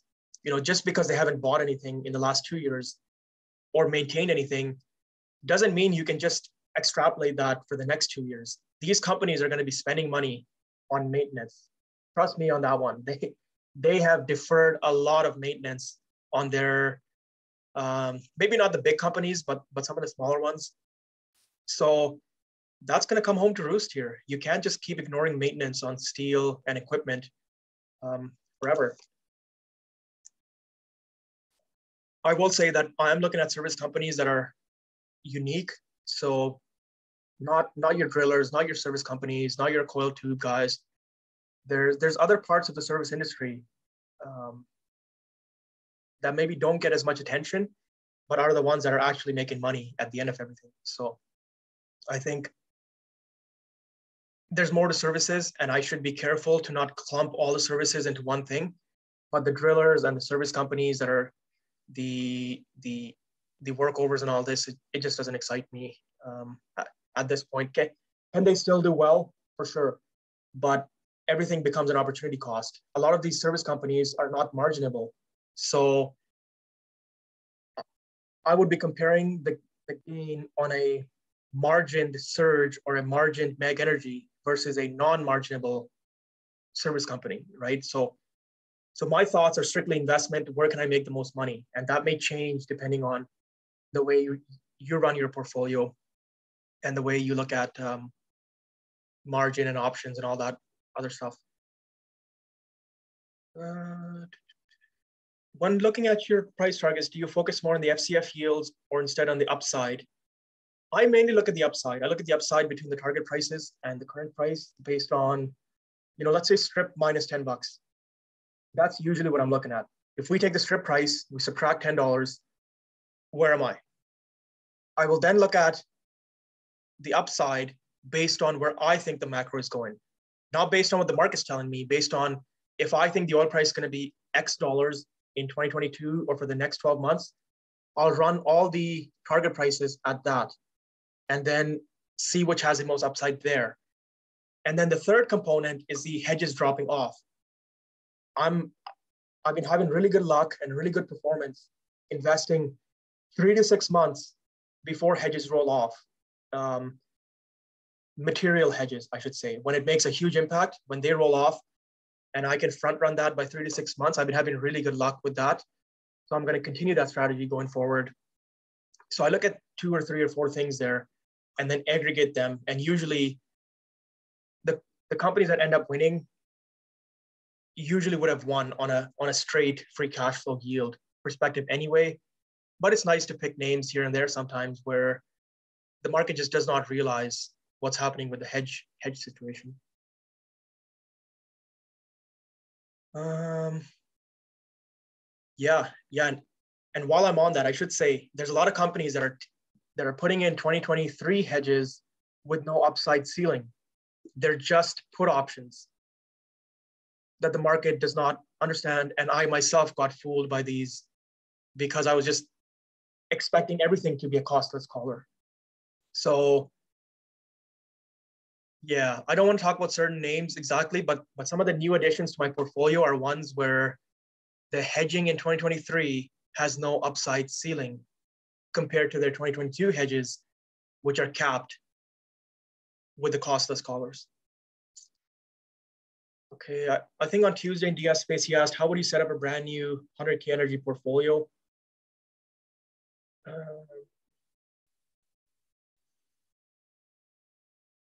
if I take my portfolio out of the equation and I just got $100,000 for a new portfolio, I would put it all, all $100,000 into either Obsidian or Surge or Spartan Delta.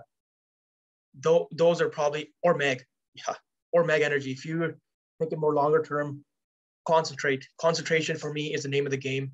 And I would put all $100,000 into one of those four, not investment advice, just my opinion are you sending this Google Sheet? Um, no.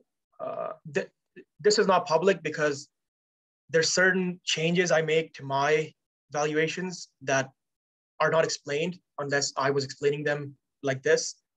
So I don't share this sheet, but if somebody wants one or two or three companies to compare their numbers to, I'm happy to send those on um, on email. And I know I'm very behind on my emails. So I apologize for that, and I will be sending the files out as I as I um, respond here. Uh, in regards to Kelt well results and macro, could you be more specific? Are you saying wells are not producing as much? No, that's not what I'm saying. Like Kelt's wells are still pretty good wells. I'm just saying going forward, it's important to watch. Can they actually produce these liquids rich 50% oil and NGL wells going forward? or can they or are they putting out more of these 26% and 22% NGL wells? Because the economics between these two wells are very different. Like this well, for example, it's only 652 BOEs to begin with, and it's 26% oil. N- not a good well. But then you have this one that's 1150 BOEs and 52% oil. I bet you this well is three times as good as this well in terms of payback. So just watching a little more closely as to what kind of wells are coming out. I'm not comparing them to the peers or the top wells. I'm comparing them to themselves and, you know, see what comes out here. Um, so CNQ target at 100 drop from 156 to 117. I would have to look. I would have to look at the target here pre Q1 and post Q1, but um, I think the higher royalty rates has something to do, to do with that. Um, I did make an adjustment to the royalty calculation on oil sands, post payout oil sands. And I also made a change for the operating expenses because what I'm finding is operating expenses are going up. So surge, for example, it went up $2 a BOE from Q4 to Q1. And I think that's going to be the norm, about a 10% increase at least in operating expenses going forward. So, you know, there's a few changes made that affected the the upside um, free cash flow, and that's why maybe you're seeing some of the targets have come down, and adjusting the model as I go, trying to make it more legit, more um, more fitting the high end and the low end. But it's it's sometimes hard to model these things until I actually know what's going on. So when I start getting Q2 results, I'll see have the operating operating expenses gone up even higher?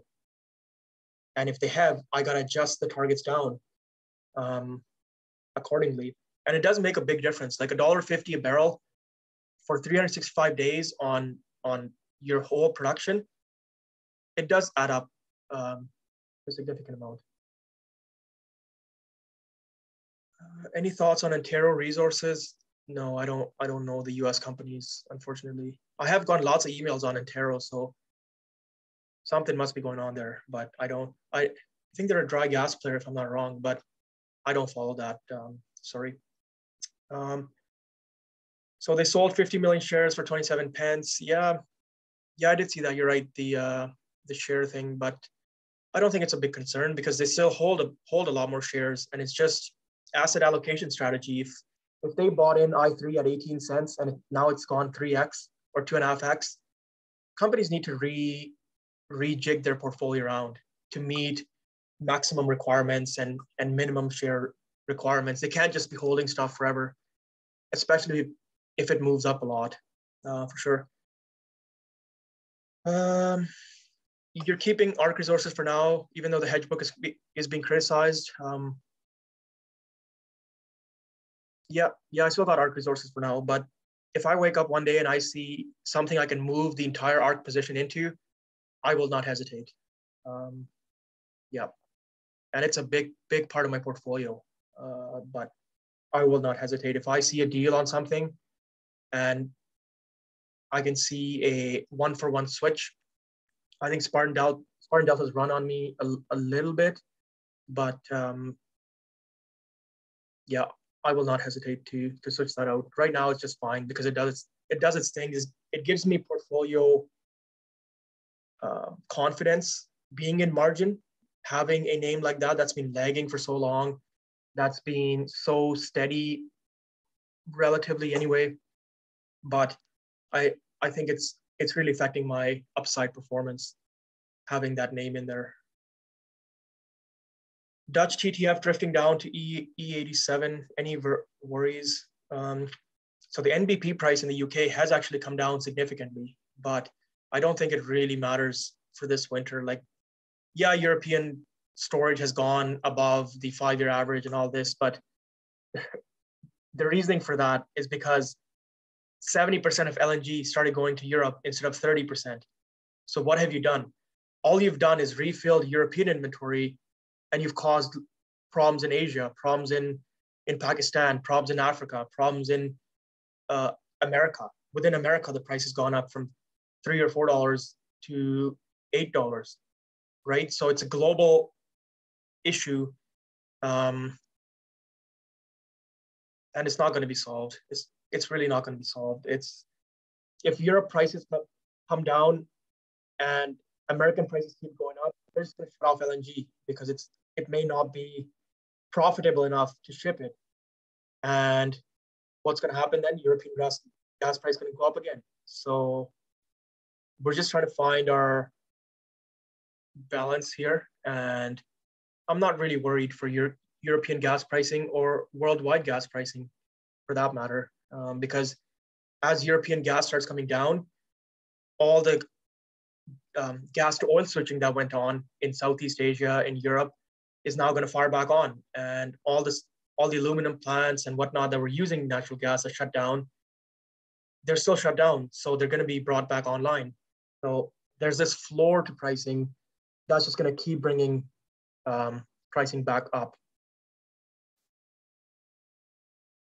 Um, Touchstone has a 60% free cash flow yield, but there are no numbers for oil prices. Yeah, so Touchstone is one that that the model doesn't really do a good job at because it's a growth play. Like they literally only produce 1,500 barrels right now, and if they hit one well, that's good offshore or onshore, the production could go up three times just with one well. So, um, so I think right now with no discovery, it's basically worth zero. And and that's what the spreadsheet shows you is that at $110 WTI, the existing production is just not good enough to pay the bills.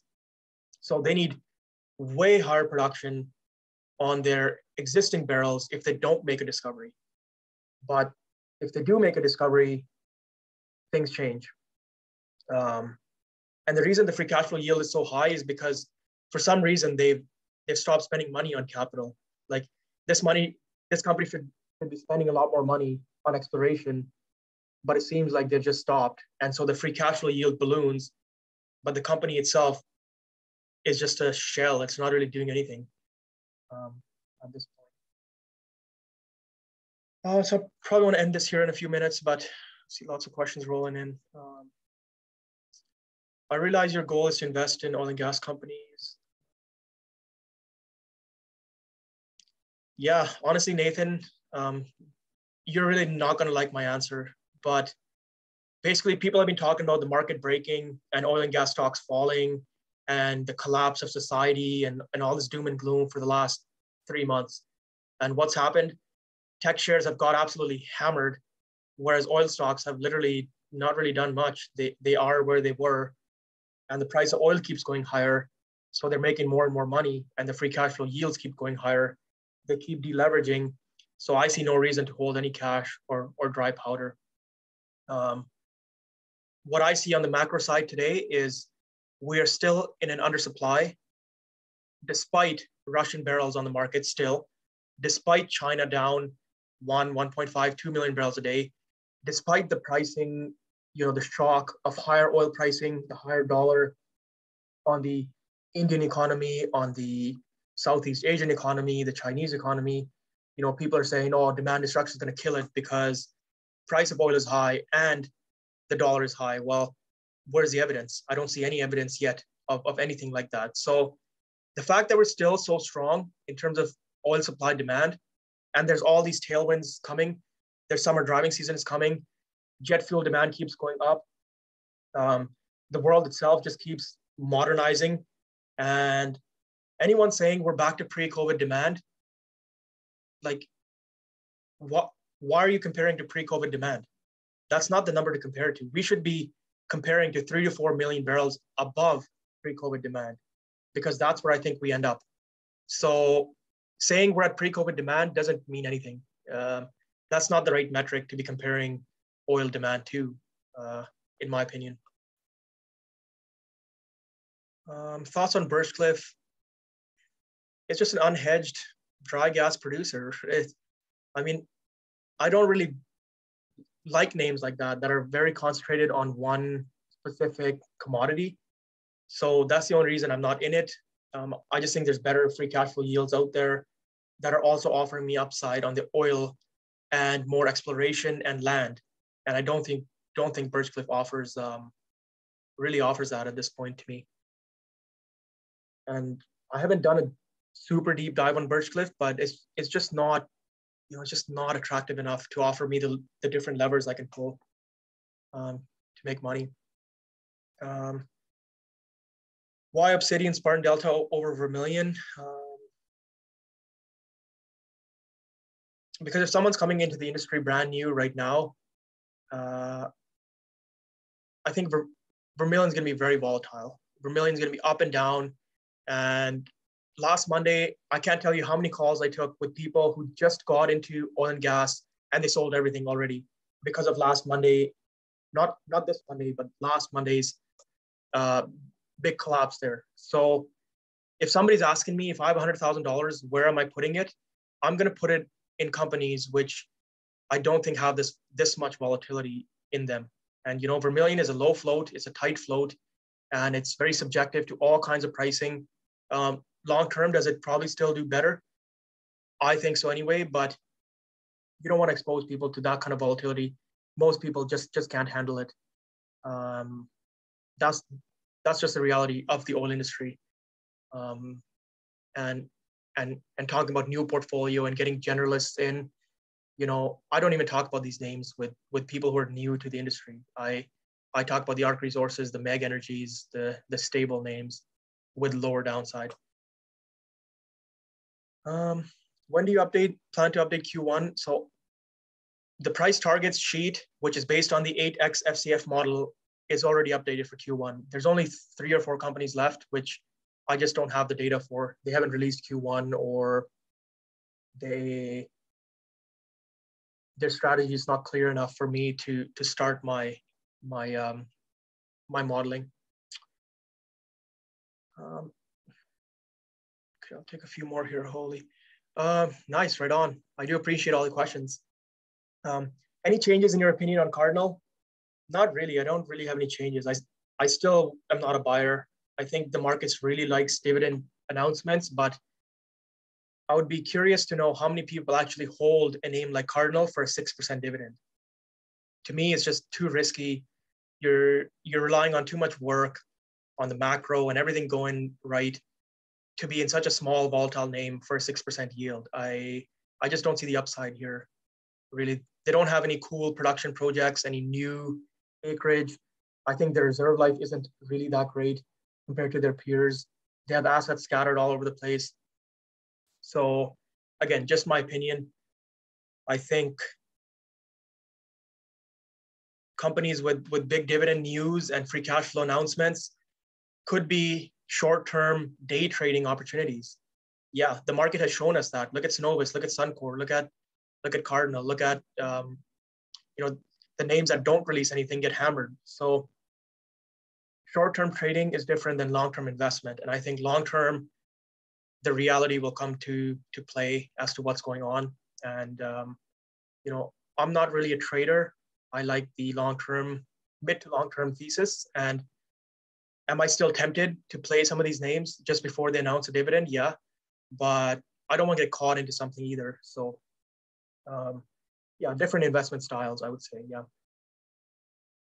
Okay the S&P and Dow dropping is bringing down these names. Um, not, not really, not really. The, the way the Nasdaq and the S&P has gotten absolutely railed, I don't think the oil, oil names have done bad at all, really. And I think I've I've shared this opinion in the macro outlook session that what does recession really mean? Can anyone here actually describe to me what they mean when they say there's going to be a recession? Like are people even understanding what it means or are they just throwing out recession because it spells somehow doom and gloom to the stock market like and and i'm not trying to target anyone in particular i just hear you know people my friends and family talking about recession and i'm like okay so so explain to me what do you think is going to happen in a recession and what's your definition of it and they just sit there uh, blank so i would go with trying to understand what you're trying to say first. Um, recession doesn't mean that the stock market is always going to collapse. Recession also doesn't mean that petroleum demand goes down because we could see recession this time with the pent up revenge demand and petroleum demand go up in the face of a recession in its official definition with GDP going down for two quarters in a row. I'm looking at oil supply demand. And when that starts to get impacted, I think I can make a view on what recession does. But until then, I don't think it's it's it's fair to be mixing up all these terms with with recession and depression and, and oil demand and the stock market. They're all different things. They do have some correlation, but uh, I just think so many people are just throw, throwing out recession as if world oil demand is just going to collapse, and I don't think that's going to happen. I I just don't see it. Um, in fact, the data so far proves that's not the case. So, um, yeah. So long answer to a short question, but and I would like to discuss this in detail with someone who knows better than me. But I think hammering down what recession actually means first has to be has to be done before we can discuss, you know, what's going on with the oil names. Um, do you favor option companies over the non-option companies? Not not really. I've kind of gone out out of options. I don't I don't see the big upside anymore. Um, so yeah, Paramount. I talked about it recently. Shared all my insight and data on that. So Greg, please um, have a look at that that session. It'll be way more in depth than what I can tell you here right now. Um, any travel adventure stories to share? Um, maybe not for the recording, but, but I did have a great time in Vegas. Met uh, off Twitter, uh, Joe Schmuckatelli and Jeffrey. Um, had a great time in Vegas and now in California here for a bit. And yeah, like I said, got a couple buddies coming in. So we're going to be doing some more road trips and travel around a bit. And uh, yeah, no complaints. I think, uh, yeah, anyone who's in California or visiting, let me know. I'm down in Huntington Beach, Orange County area. Um, grab beer, steak, champagne, whatever. So, yeah. Are you going to have a, a seminar explaining hedging loss? Sure, sure, yeah. Yeah, why not? That would actually be interesting. I'll talk about the collars and the three-way options and all that. So June 19th. Maybe I'll throw that on the June 19th option seminar. I'll talk about hedging options and, or, uh, yeah, because hedging is is literally buying options. So I'll talk about that more and um, go from there. Yeah. So yeah, I'll end it here. Thanks again, everyone that joined. Always appreciate your time. I always appreciate your questions. Um, and you know, gets me thinking, gets me gets the brain going. And I always like talking names as well. So we have, um, this will be recorded. This is recorded and will be posted here shortly. Same with the Twitter space. We have freehold royalties on the Twitter space on Tuesday. We have Hemisphere Energy on Wednesday. We have Crescent Point on Thursday. So pretty packed week here. And I'm gonna take a couple weeks off here, um, just with everything going on. And June 11th, I believe. I have the deep dives coming up into two names. Uh, it's going to be smaller names. It's going to be kind of like the Westcan and Razor due diligence session. So there are a lot of graphs, data, upside in the future. And then June 18th, I have some other stuff with the overall North American markets. And then, yeah, just kind of keep it going from there. I've I've made the macro every two months now, just because it's so long and I don't really have much new information to share. Um, it's only when I find a few good graphs and good good latest information. So I'll update that in probably end of June there, and um, go from there. Yeah, thanks again, everyone, and have a great rest of your weekend, long weekend for those in Canada, and um, look forward to the markets as well. So cheers.